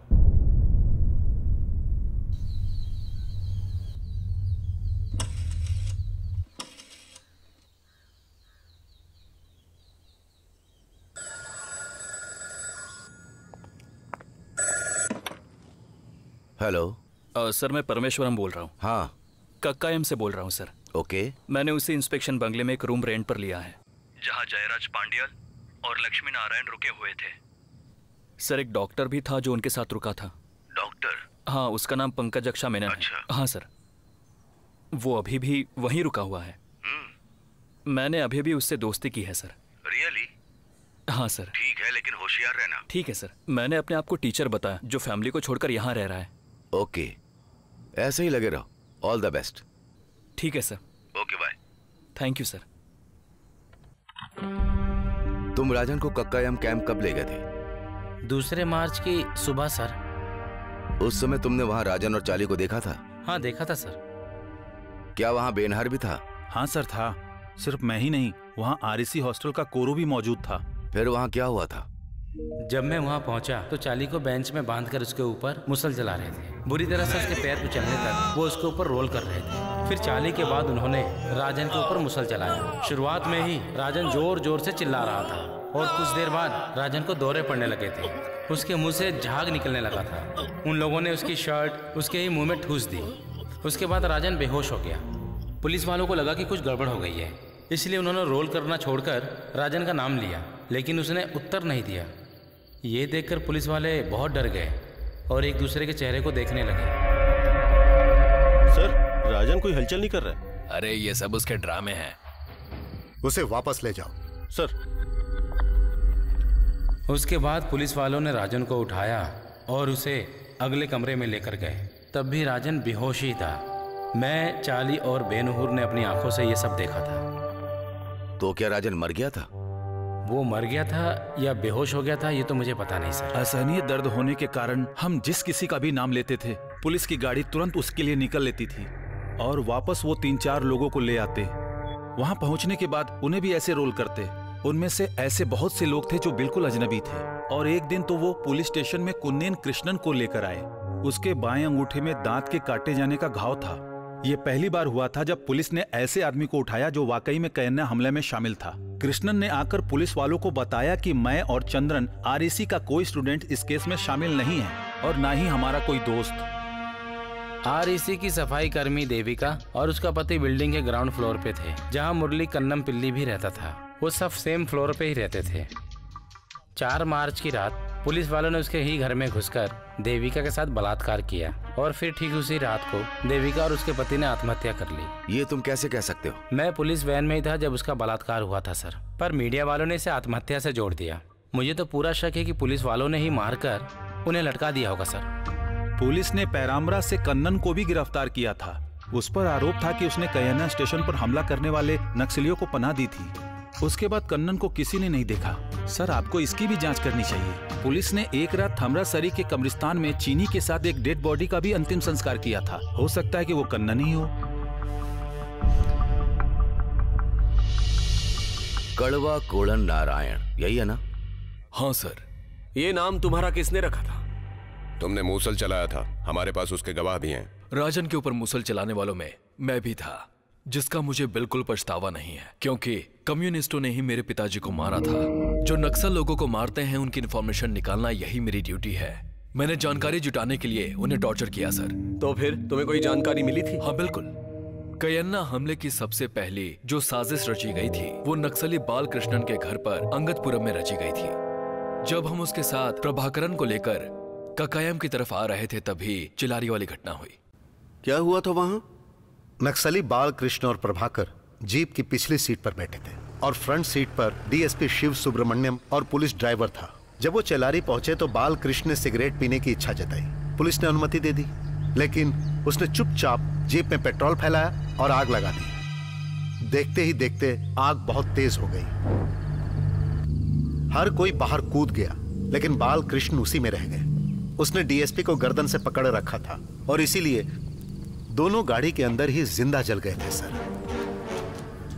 फिर आखिर में गंभीर जलन के साथ वो बाहर कूदे। आसपास के लोग उन्हें मेडिकल कॉलेज लेकर गए। सर नक्सली दुश्मन को मारने के लिए अपनी जान की बाजी भी लगाने के लिए तैयार रहते हैं। बालकृष्ण के मामले में भी यही हुआ था। नक्सल बालकृष्णा ज़िंदा नहीं बचा। डीएसपी की कंडीशन भी क्रिटिकल है। आप चाहें तो मिल सकते हैं।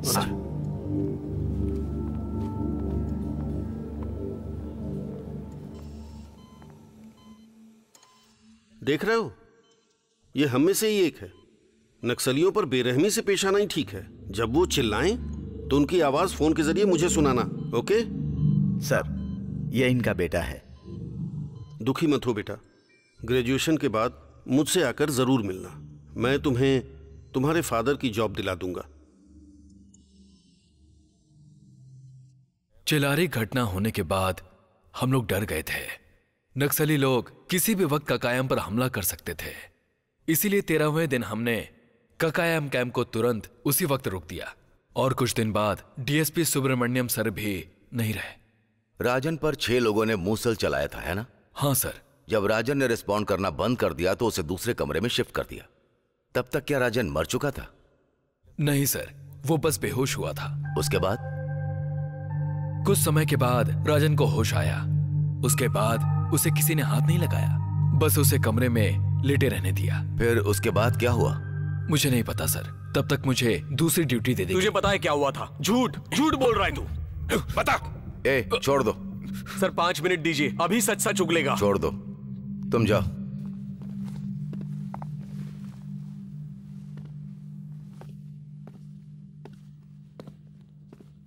तुम लोग जितना भी मारो वो सच नहीं बोलेंगे।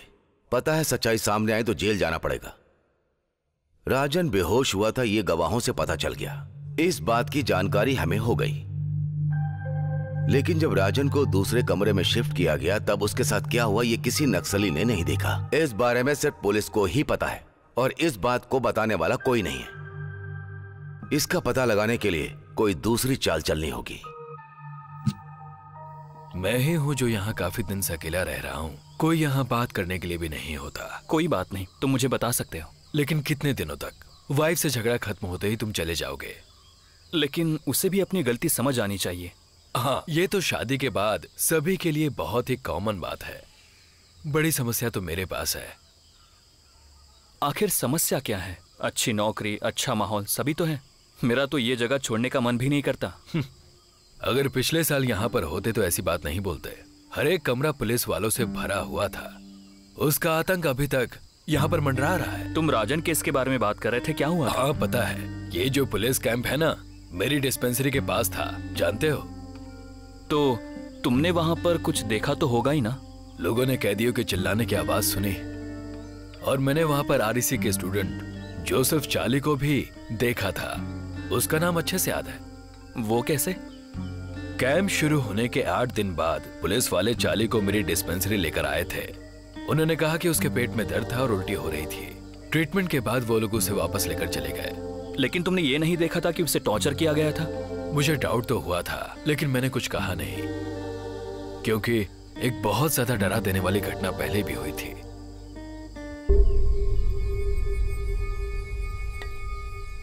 अगले दिन कैंप शुरू हो गया।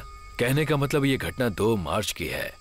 एक पुलिस कांस्टेबल मेरी डिस्पेंसरी में आया और उसने मुझसे तुरंत कैंप में चलने के लिए कहा। लेकिन उस वक्त मैं थोड़ा बिज़ी था क्योंकि मैं अपने पेशेंट नारायण नायर को देख रहा था।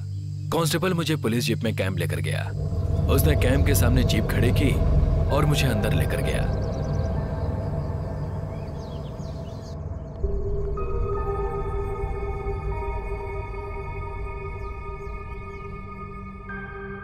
क्या तुम सरकारी डॉक्टर हो? हाँ। हॉस्पिटल में पर्याप्त दवाइयाँ तो है ना? हाँ।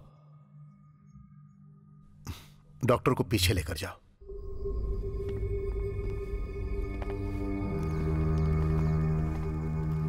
पुलिस वाला मुझे डिस्पेंसरी के पीछे ले गया। मैं उन लोगों को टेंशन में देखकर और उनके चेहरे से होश उड़ता हुआ देखकर डर गया था। मुझे पूरा शक हो गया कि कोई ना कोई गड़बड़ तो ज़रूर है। वो इमरजेंसी पीरियड था। मैंने किसी से कुछ नहीं कहा।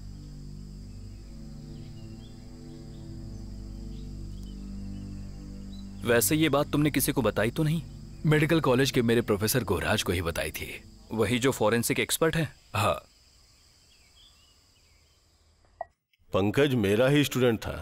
वो कैंप में हुई घटना से बुरी तरह से डर गया था।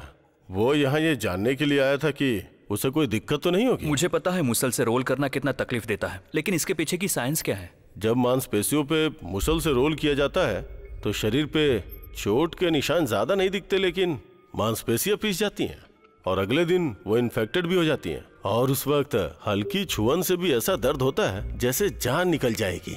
और ऐसे में पेंसिल चुभ हो जाए तो जानलेवा दर्द होता है। क्या इस प्रोसीजर से जान भी जा सकती है? सामने की जांघों में खून की दो मुख्य नसें होती हैं। रोलिंग के दौरान उनके टूटने का खतरा बहुत ज़्यादा रहता है। इसे बाहर से तो नहीं पहचाना जा सकता क्योंकि जांघों में सिर्फ़ एक सेंटीमीटर की ही सूजन बाहर से दिखती है। नसों का इस तरह से टूटना चंद मिनट में ही मौत को बुलावा दे सकता है। तो कैंप में राजन को जिस हालत में देखा था वो उसके मरे होने का संकेत ऐसा ज़रूरी नहीं है। यह भी हो सकता है कि राजन बेहोश हुआ हो। हो सकता है मौत का कोई और भी कारण हो। हमारी बॉडी के अंदर एक प्रोटीन होता है जिसे मायाग्लोबिन बोलते हैं। जब रोलिंग की वजह से मांसपेशियाँ पिस जाती हैं तो मायोग्लोबिन खून में मिक्स हो जाता है। अगर ऐसा होता है तो किडनी फेल हो जाती है, जो मौत का कारण बनती है। रोलिंग के बाद भी एक आदमी को दो से तीन दिन लगते हैं मरने के लिए। ज़्यादा दर्द होने की वजह से हार्ट अटैक भी हो सकता है, जो मौत का कारण बन सकता है।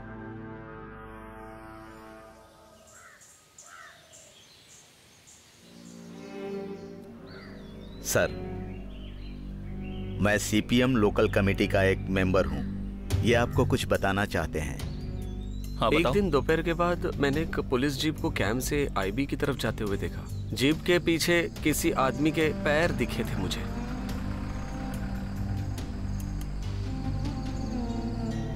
उस दिन तारीख क्या थी पता है क्या? नहीं लेकिन दिन वही था जिसके बाद कैंप शुरू हो गया था। क्या ये बात कोर्ट में बोल सकते हो? नहीं सर मुझे डर लगता है। किस बात का डर है तुम्हें? इमरजेंसी तो हट चुकी है ना? क्या आपको यकीन है कि इमरजेंसी वापस नहीं आएगी?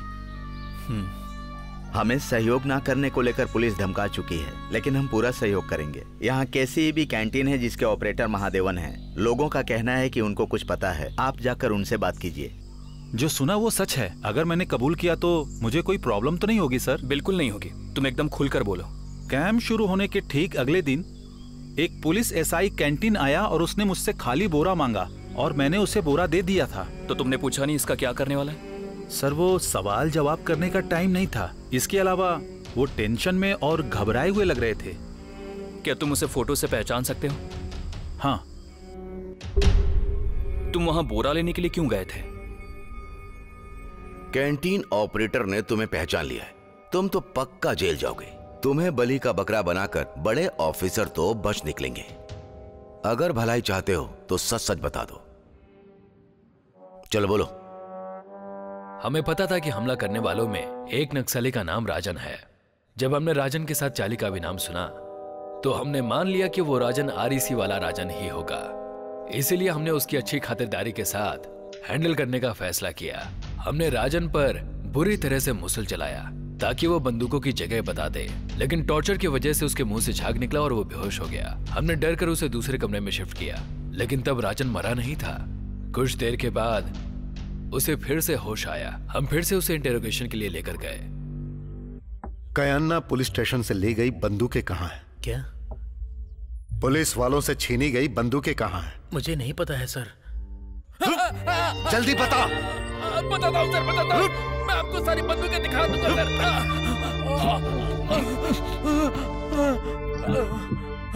सुनो इसे जीप में डालो और जहाँ बोले लेकर जाओ। मुझे कुछ नहीं पता सर।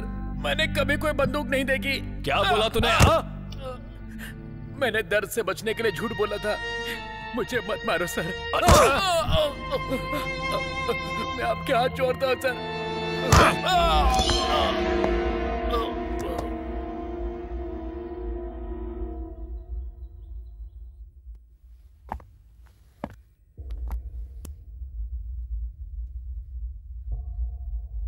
सर।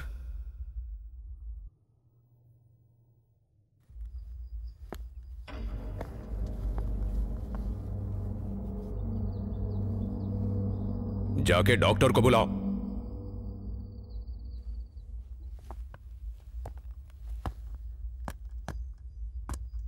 सर।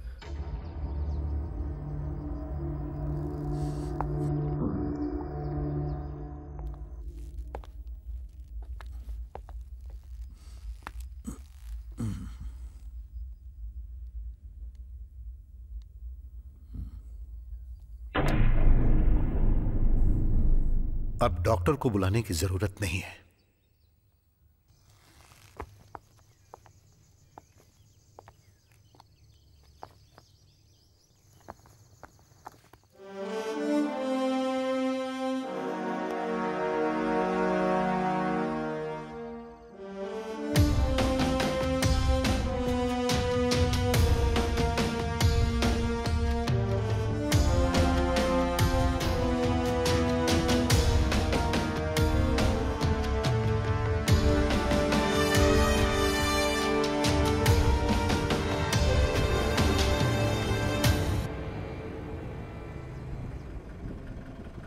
जाओ इसे।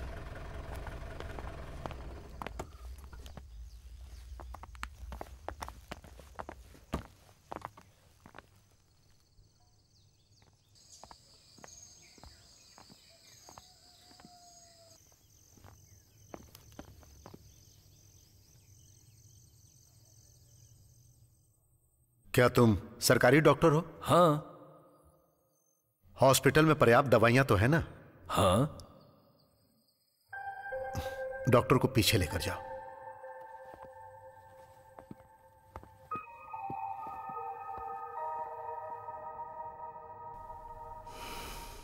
जैसा कि मौत निश्चित थी उन्होंने सोचा कि किसी को पता नहीं चलना चाहिए इसीलिए डॉक्टर को पीछे भेज दिया गया। सही कहा ना? डॉक्टर के जाने के बाद क्या किया था तुमने? सारे बड़े ऑफिसर्स आई भी चले गए थे। राजन की बॉडी को जीप की मदद से आई भी भेज दिया गया। उसके बाद आईबी में क्या हुआ ये मुझे नहीं पता सर। राजन के बेहोश होने के बाद क्या तुमने उसे दोबारा देखा? नहीं सर। उसके बाद क्या हुआ था? उसके बाद पुलिस के व्यवहार में थोड़ा चेंज आ गया था सर। मेरा कहने का मतलब है सर थोड़ा रहम दिखाने लग गया। उन्होंने टॉर्चर करना नहीं छोड़ा था। उनमें से कुछ ने ही हमदर्दी दिखाई थी। अगर कुछ जानते हो तो बता दो। उस प्रोफेसर का बेटा तो मर चुका है। मैंने वहाँ पर एक पुलिस वाले को यह कहते हुए सुना था कि एक बंदी मर गया है। सर वो टीएन जॉय आए हैं। उन्हें अंदर भेज दो। तुम लोग जा सकते हो। ठीक है सर।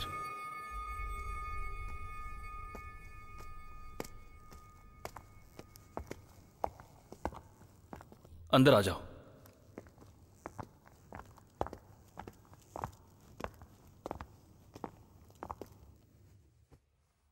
सर मैं पुलिस कैंप में बंदी बनाया गया था। मुझे पता है कि वर्कला विजन के साथ क्या हुआ था। ठीक है बताओ जो। कि जाके कोटा से विजन को अरेस्ट किया गया। फिर पुलिस उसे सीधा सस्ता मंगलम कैंप ले गई। पुलिस उसे पहले ही दिन से टॉर्चर करने लगी। 6 मार्च की शाम को ही अरमुगा दास विजयन के बेहोश होने तक उसे लातों से मारता रहा। विजयन अगले दिन तक दर्द से चिल्लाता रहा लेकिन हम लाचार थे। शाम के चार बजे उसने उल्टी करना शुरू कर दिया। कुछ देर बाद उसकी उल्टी में खून भी आना शुरू हो गया। और फिर एक कमकपी के साथ खुली आँख और जीप बाहर निकाले हुए विजयन मर गया, सर। उसकी आँखों से टपकते आँसू मैंने साफ़ साफ़ देखे पुलिस ने उसकी बॉडी को पुनः मुदी में जला दिया। ये बातें मुझे पुलिस ड्राइवर करुणन से पता चली। कक्कायम कैंप में जो बेरहमी हुई, उसके लिए इनडायरेक्टली आप भी रिस्पॉन्सिबल हैं। क्या किसी ने यह बताया कि उसने मुझे वहाँ देखा था? किसी नक्सली ने बोला कि मैंने उसे मारा था? फिर भी मैंने पूरी ज़िम्मेदारी ली और मुख्यमंत्री पद से इस्तीफा दे दिया। राजन के केस में सजा भुगतने वाला मैं पहला आदमी था ना? पुलिस ऑफिसर्स ने मुझे गलत जानकारी दी थी। राजन की मौत की बात उन्होंने मुझसे छुपाई थी। पुलिस ने जो कुछ भी मुझे बताया, मैंने कोर्ट में वही बोला। फिर भी जो अधिकारी मेरे लिए खड़े हुए, मैं उन्हें धोखा नहीं दूँगा। अगर उन्हें जेल भी हुई तो मैं उनके साथ रहूँगा। जब सात साल पहले वर्गीस को मारा गया था तब तुम वहाँ थे। जब राजन को मारा गया तब भी तुम वहाँ थे। ये तो इत्तेफाक की बात है ना? क्राइम ब्रांच केस की इन्वेस्टिगेशन कर रहा था। केवल वही जानते हैं कि राजन के साथ क्या हुआ। तुम पूरे टाइम तक कैंप में थे। तुम जानते हो कि राजन के साथ क्या हुआ था। अगर आप इतने श्योर हो कि मुझे सब कुछ पता है तो मैं इस राज को किसी को नहीं बताऊँगा। जैसा मैंने बोला था कि दो बंदूकें कयन्ना पुलिस स्टेशन से ले जाई गई थी। उनका इस्तेमाल करके बड़े हमले होने वाले थे इसीलिए बंदूकों को तुरंत रिकवर किया जाना था ताकि हमले से बचा जा सके। और इसीलिए हमने नक्सलियों को बंदूकें रिकवर करने के लिए ही टॉर्चर किया था जिसने काम भी किया और बंदूकें मिल भी गई। क्या इस तरह से मैंने आगे होने वाली हत्याओं को क्या नहीं रोका बताओ? If you want to win the war you will have to burn a few villages Rajan को क्या हुआ था? अब तुम्हें यह बताना होगा। राजन के साथ क्या किया था? अम, नक्सलियों ने उसे नहीं। तुमने राजन को जान से मारा उसके बाद सबूत मिटाने के लिए उसकी बॉडी को जला दिया। यही किया ना उसके साथ? तुम सबसे पहले आरोपी हो। बताओ मुझे तुमने राजन को मारा था कि नहीं? नहीं ऐसा कुछ भी नहीं है। झूठ मत बोलो। तुमने ही राजन को मारा। किसी ने जानबूझकर ऐसा नहीं किया। इट्स सो हैपेंड ये होते होते हो गया था। और मुझे इसका पछतावा भी है। पछतावे के लिए मैं तुम्हें मौका दूँगा। जैसा कि तुमने बोला कि राजन नहीं है तो तुमने उसकी बॉडी के साथ क्या किया? मुझे नहीं पता। राजन की बॉडी के साथ क्या किया? मुझे नहीं पता। जाकर खुद पता करो। राजन के मारे जाने के बाद तुमने त्रिवेंद्रम में ट्रंक कॉल किया था। इसका सबूत है मेरे पास। किसे कॉल किया था? तुम जानना चाहते थे कि बॉडी के साथ क्या किया जाए। मैं ये अच्छे से जानता हूँ कि केवल आईजी राजीव और के करकरन तुम्हारे आइडियल थे। आईजी तो केवल रबर स्टैंप है, इसीलिए वो केकरन ही था जिससे तुमने बात की थी। उस शाम मैं घर गया था। उसके बाद कक्का यम में क्या हुआ था, मुझे नहीं पता। उसके बाद हम में से किसी ने इस बारे में बात नहीं की। सर ये आपसे कुछ कहना चाहता है। चलो बताओ। सर डैम साइड के घरों में जाने के लिए बहुत सारी चीज़ें हैं सर। लेकिन वो पुलिस के डर से बताएँगे नहीं सर। सर आप एक बार जाके ट्राई करो ना। साफ़ साफ़ बताओ। कक्कायम डैम का एक वॉचमैन है। बिना उसकी जानकारी के कोई वहाँ जा नहीं सकता है। वहाँ डैम के पास एक कैंटीन और एक पोस्ट ऑफ़िस है। दोनों एक ही बिल्डिंग में है सर। पोस्टमैन और कैंटीन का रसोईया वहीं रहते हैं। अफवाह है कि उन्हें कुछ न कुछ ज़रूर पता है। डैम के वॉचमैन तुम ही हो क्या? हाँ सर। ओके। पिछले साल मार्च को यहाँ पुलिस आई थी क्या? मुझे ऐसा अनुमान था कि आप ज़रूर आएँगे। उस दिन शाम को जूनियर इंजीनियर के ऑफ़िस से मुझे एक इमरजेंसी मैसेज आया कि डैम का दरवाज़ा पूरी रात खुला रहना चाहिए जैसा कि इमरजेंसी का वक्त था तो मैंने कुछ नहीं पूछा और डैम का दरवाज़ा रात भर खुला छोड़ दिया। रात के वक्त पुलिस की गाड़ियाँ तीन या चार बार जंगल जाकर वापस लौटी थी। वहाँ क्या हुआ ये मुझे पता नहीं।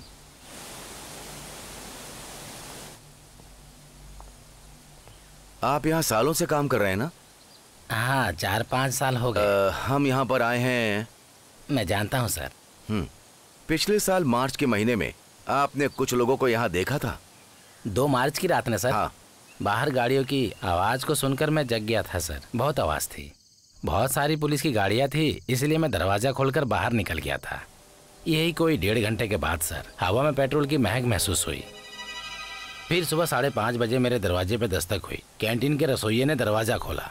ए इधर आओ तो तुम। यही थे। आपने उस दिन क्या देखा था? उन्होंने सुबह साढ़े पाँच बजे दरवाज़ा खटखटाया। फिर मैंने उनके लिए चाय बनाई और चाय पीने के बाद वो यहाँ से निकल गए। हम्म, ठीक है। अब हम लोग चलते है, हैं। सर। ओके।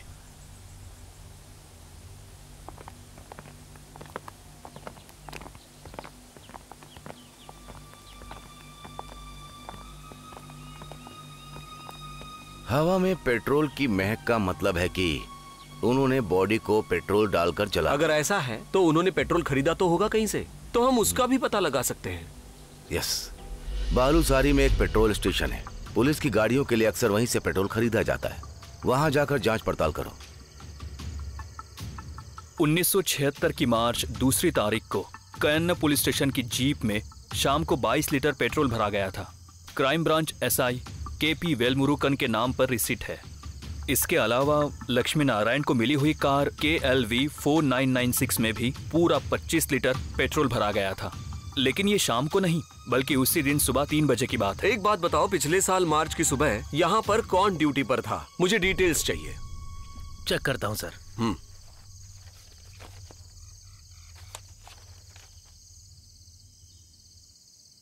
जय सीलन। वो सामने खड़ा है।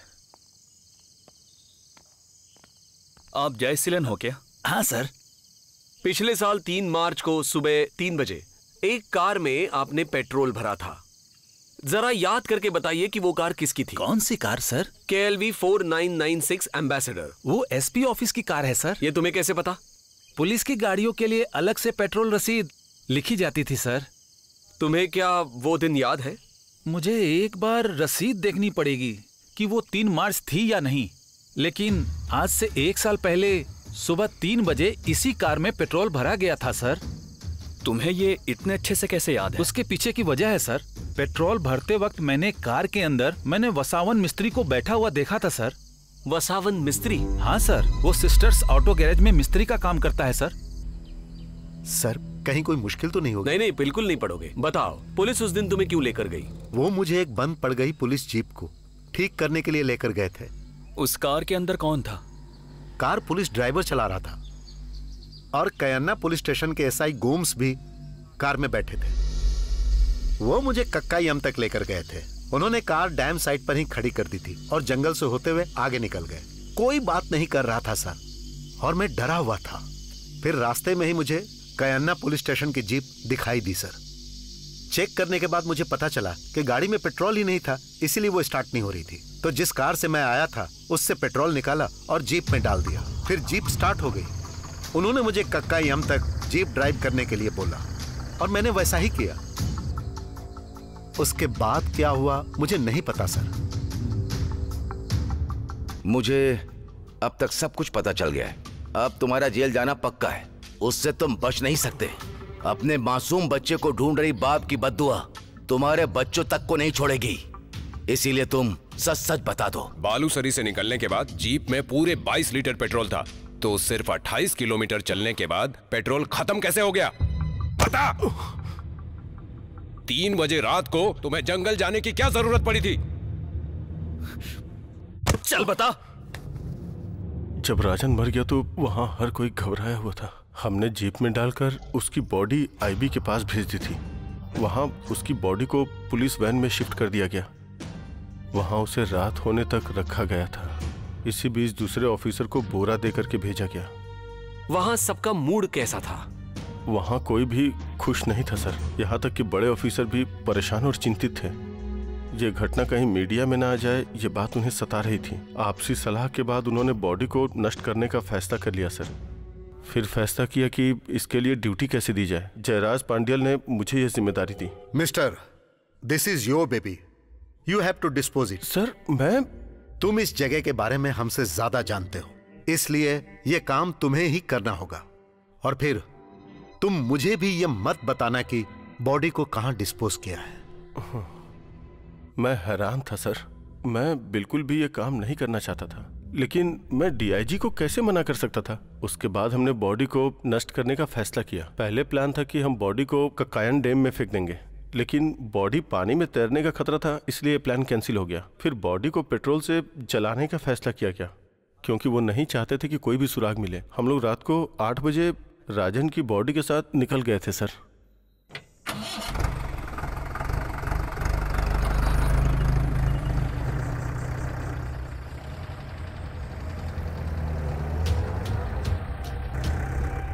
वहाँ से डैम तक की दूरी 14 किलोमीटर की थी। हम डैम के पहले ही खुले गेट से होते हुए जंगल में दाखिल हुए। हमने उरा कुछ ही वाटरफॉल के पास जाकर गाड़ी रोक दी। वहाँ सही जगह देख के हमने खड्डा किया। हमने बॉडी को थोड़ा नीचे दफनाया और पेट्रोल से बॉडी को जला दिया सर लेकिन कुछ लकड़ी काटने वाले आदिवासी आग को देख के दौड़ते हुए आ गए। हमने तुरंत उन्हें वहाँ से भगा दिया। लेकिन उन्हें पता चल गया था कि हम लोग कुछ ना कुछ गड़बड़ कर रहे हैं। पूरी बॉडी सही तरीके से जल नहीं पाई। यहाँ तक कि हमारा सारा पेट्रोल खत्म हो चुका था। इसलिए हमने पुलिस स्टेशन की जीप से भी पेट्रोल निकाला, सर। फिर भी बॉडी पूरी तरह से जल नहीं पाई। लौटते समय पुलिस स्टेशन की जीप बीच रास्ते में बंद पड़ गई।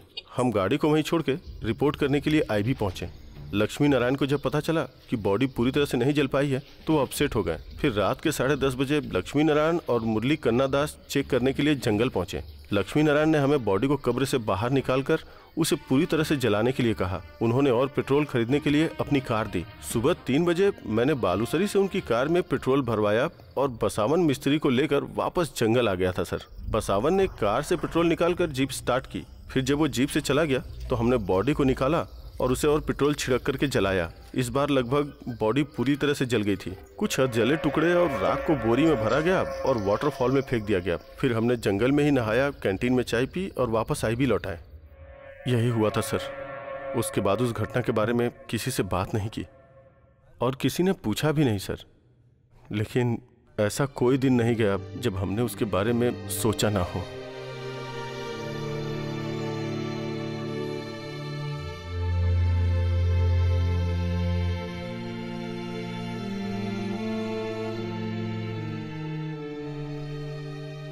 उन्होंने बॉडी के साथ क्या किया था? क्या कोर्ट उन दोषियों से पूछ सकती है? नहीं। हमारा संविधान दोषियों से यह पूछने की अनुमति नहीं देता कि उन्होंने बॉडी के साथ क्या किया था। संविधान के बीसवें सबसेक्शन के मुताबिक। केस की रिपोर्ट सबमिट कर दी है। हाँ, ठीक है। दोषी चाहे तो शांत भी खड़ा रह सकता है। बॉडी को रिकवर करने की ज़िम्मेदारी पुलिस की होती है। लेकिन टेक्निकली ये तो बहुत ही मुश्किल काम होगा। जिस जगह बॉडी को जलाया वहाँ तो बहुत सारे चेंजेस हो चुके होंगे। अभी बारिश का सीज़न भी गुजरा है। लेकिन मैं कोई दूसरी संभावना देखना चाहता हूँ। आधी रात में पुलिस वालों ने हड्डियों के कुछ बिना जले हुए टुकड़ों को कलेक्ट किया था।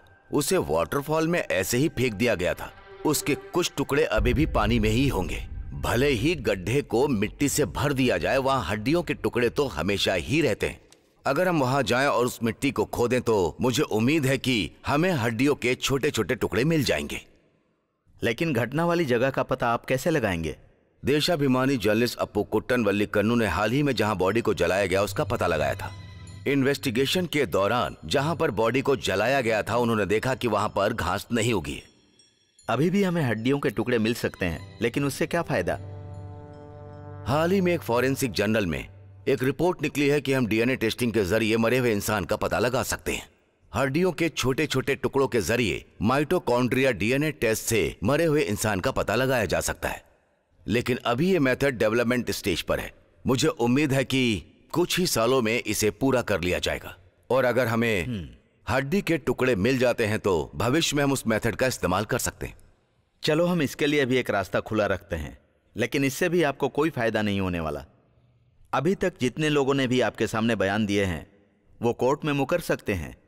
पॉलिटिकल पक्ष ये कहकर बच निकलेगा कि पुलिस ने सही सही जानकारी नहीं दी थी। और संदेह के माहौल में पुलिस भी बच जाएगी। मेरे हिसाब से यही होगा। इसका मतलब दोषियों को कोई सजा नहीं होगी। लॉयर तो शायद यही कह रहे थे। दरअसल इचारा वॉरियर की तरह वर्कला विजयन के घर में भी उसकी माँ इंतज़ार कर रही। उसके साथ न्याय नहीं हुआ। राजन और विजय दोनों समान परिस्थितियों में मारे गए। फिर भी हम उन्हें न्याय दिलाने में पक्षपात कर रहे हैं सर। दोषी कौन कौन है? इसमें सात ऑफिसर शामिल हैं। जयराज पांडियल मधुसूदन लक्ष्मी नारायण मुरली कन्नादास कुंजमन नाम्बियार कड़वा कोदन और कांस्टेबल सुमन। सर मुझे उन सबको अरेस्ट करने की परमिशन चाहिए। अगर हम उन्हें अरेस्ट करते हैं तो धमकी मिली है कि केरल पुलिस स्ट्राइक पे बैठ जाएगी। ये आसान नहीं होगा। But you proceed with the arrest you have my orders thank you sir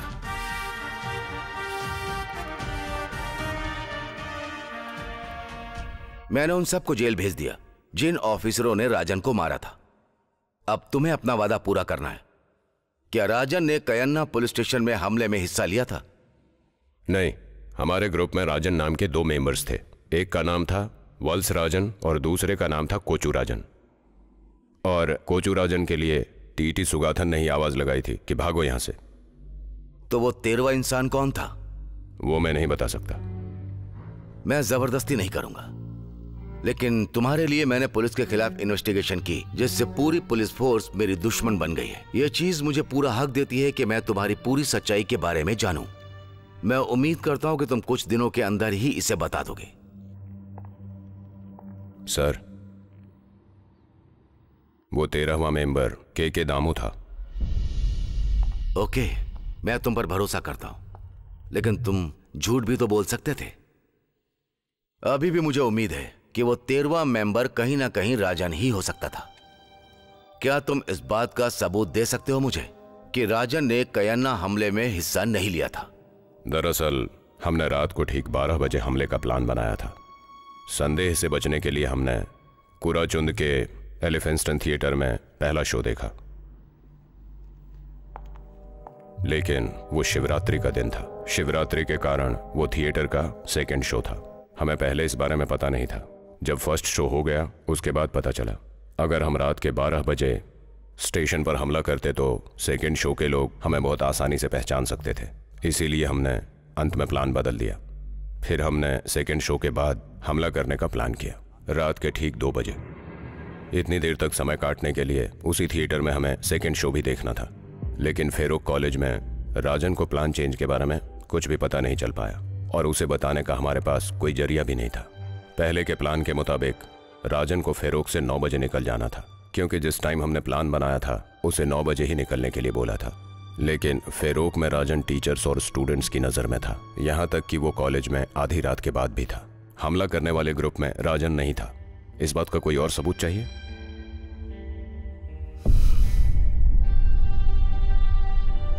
RAC में दो ऐसे लोग थे, जिन्हें हमले के बारे में पहले से जानकारी थी। मुरली कन्नम पिल्ली और जोसेफ चाली।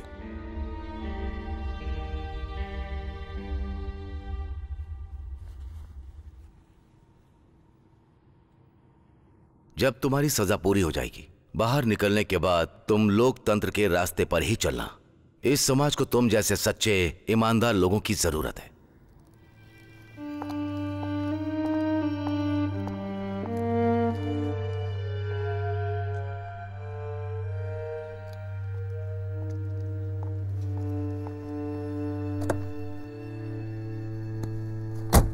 सर। ओ राजाराम तुम यहाँ कैसे? उन्हें गिरफ़्तार करने के लिए आपको धन्यवाद कहने के लिए आया इसकी कोई ज़रूरत नहीं है। वो हाँ? एक बात और है जो मैंने आपको बताई नहीं थी।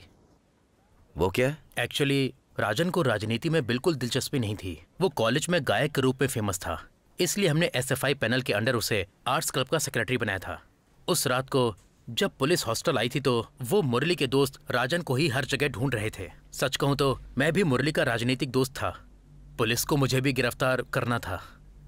आरईसी में मुझे भी राजा राम नाम की वजह से राजन बुलाया जाता था। मुझे इस बात का शक है कि पुलिस ने मेरी जगह उस राजन को गिरफ़्तार कर लिया था। एक और शख्स जिसे इस बात का शक था? कौन है वो? तुम्हारे प्रिंसिपल। ठीक है फिर।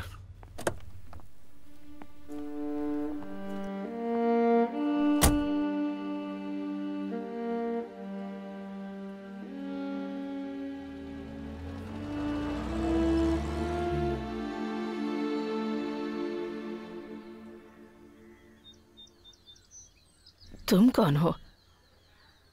राजन तुम्हारे साथ नहीं आया क्या? उसे बहुत भूख लगती है। अलग से खाना रखना पड़ता है उसके लिए। वो हाँ, बस किसी भी वक्त आता ही होगा। अंदर चलो। छोड़ो मुझे।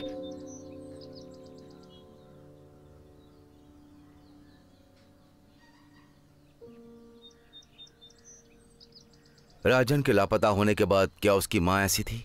नहीं वो तो बहुत पहले से ही ऐसी ही है। हमारी इन्वेस्टिगेशन पूरी हो चुकी है। राजन नक्सलियों का सपोर्टर था लेकिन उसने कयन्ना स्टेशन हमले में हिस्सा बिल्कुल नहीं लिया था।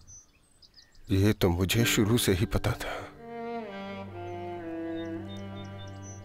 ये कहते हुए मुझे दुख हो रहा है। आपका बेटा कभी वापस नहीं आएगा। मुझे ये बात भी पता थी। जब मैं उसे ढूंढ रहा था तो मुझे पता चल गया था कि वो कभी वापस नहीं आएगा। आपको अंतिम संस्कार करना होगा। मुझसे उसके मरने की बात छुपाई गई। कौन हूँ मैं? एक तुच्छ आदमी है ना? ऐसा नहीं। मरने के बाद भी राजन ने केरल को यह सिखाया कि मानव अधिकार क्या चीज़ होती है। राजन ने इस धारणा का अंत कर दिया कि पुलिस कुछ भी कर सकती है। अब केरल में पूरे भारत की अपेक्षा हमें ज़्यादा मानव अधिकार मिलते हैं। और यही राजन की वजह से संभव हुआ। राजन ने मरकर भी किसी ज़िंदा इंसान से ज़्यादा केरल में परिवर्तन ला दिया है। राजन के पिता होने के नाते आपको गर्व करना चाहिए।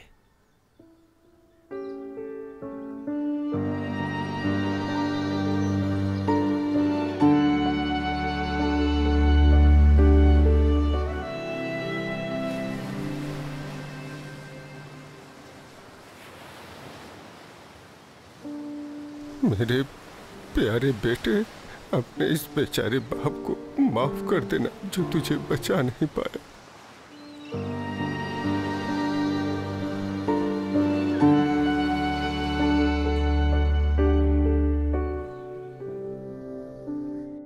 तुम्हारा आखिरी विचार क्या है? मैं मानता हूँ नक्सली हमेशा आधे सही और आधे गलत होते हैं। लक्ष्य कभी अच्छा होता है लक्ष्य कभी गलत होता है। पुलिस और नक्सलियों के बीच पूरे टाइम इसी बात को लेकर के फाइट चलती रहती है कि दो थियोरिटिकल राइट्स और दो प्रैक्टिकल रॉन्ग्स के बीच संघर्ष चलता रहता है। राजन का केस भी ऐसा ही था। ग्रंथों में कहते हैं कि अगर तुम हवा बोगे तो तूफ़ान काटोगे। यही इस मसले में भी हुआ, सर। के. कनरन से लेकर कुन्नील नारायण तक हर किसी ने हवा को बोया और तूफ़ान को काटा है। कानून और न्याय ने साथ नहीं दिया। इसलिए नक्सलियों ने वही किया जो एक अच्छा आदमी कर सकता है। उन्होंने अपना काम किया है सर। फिर पुलिस का क्या? उन्होंने भी अपना ही काम किया है सर। सर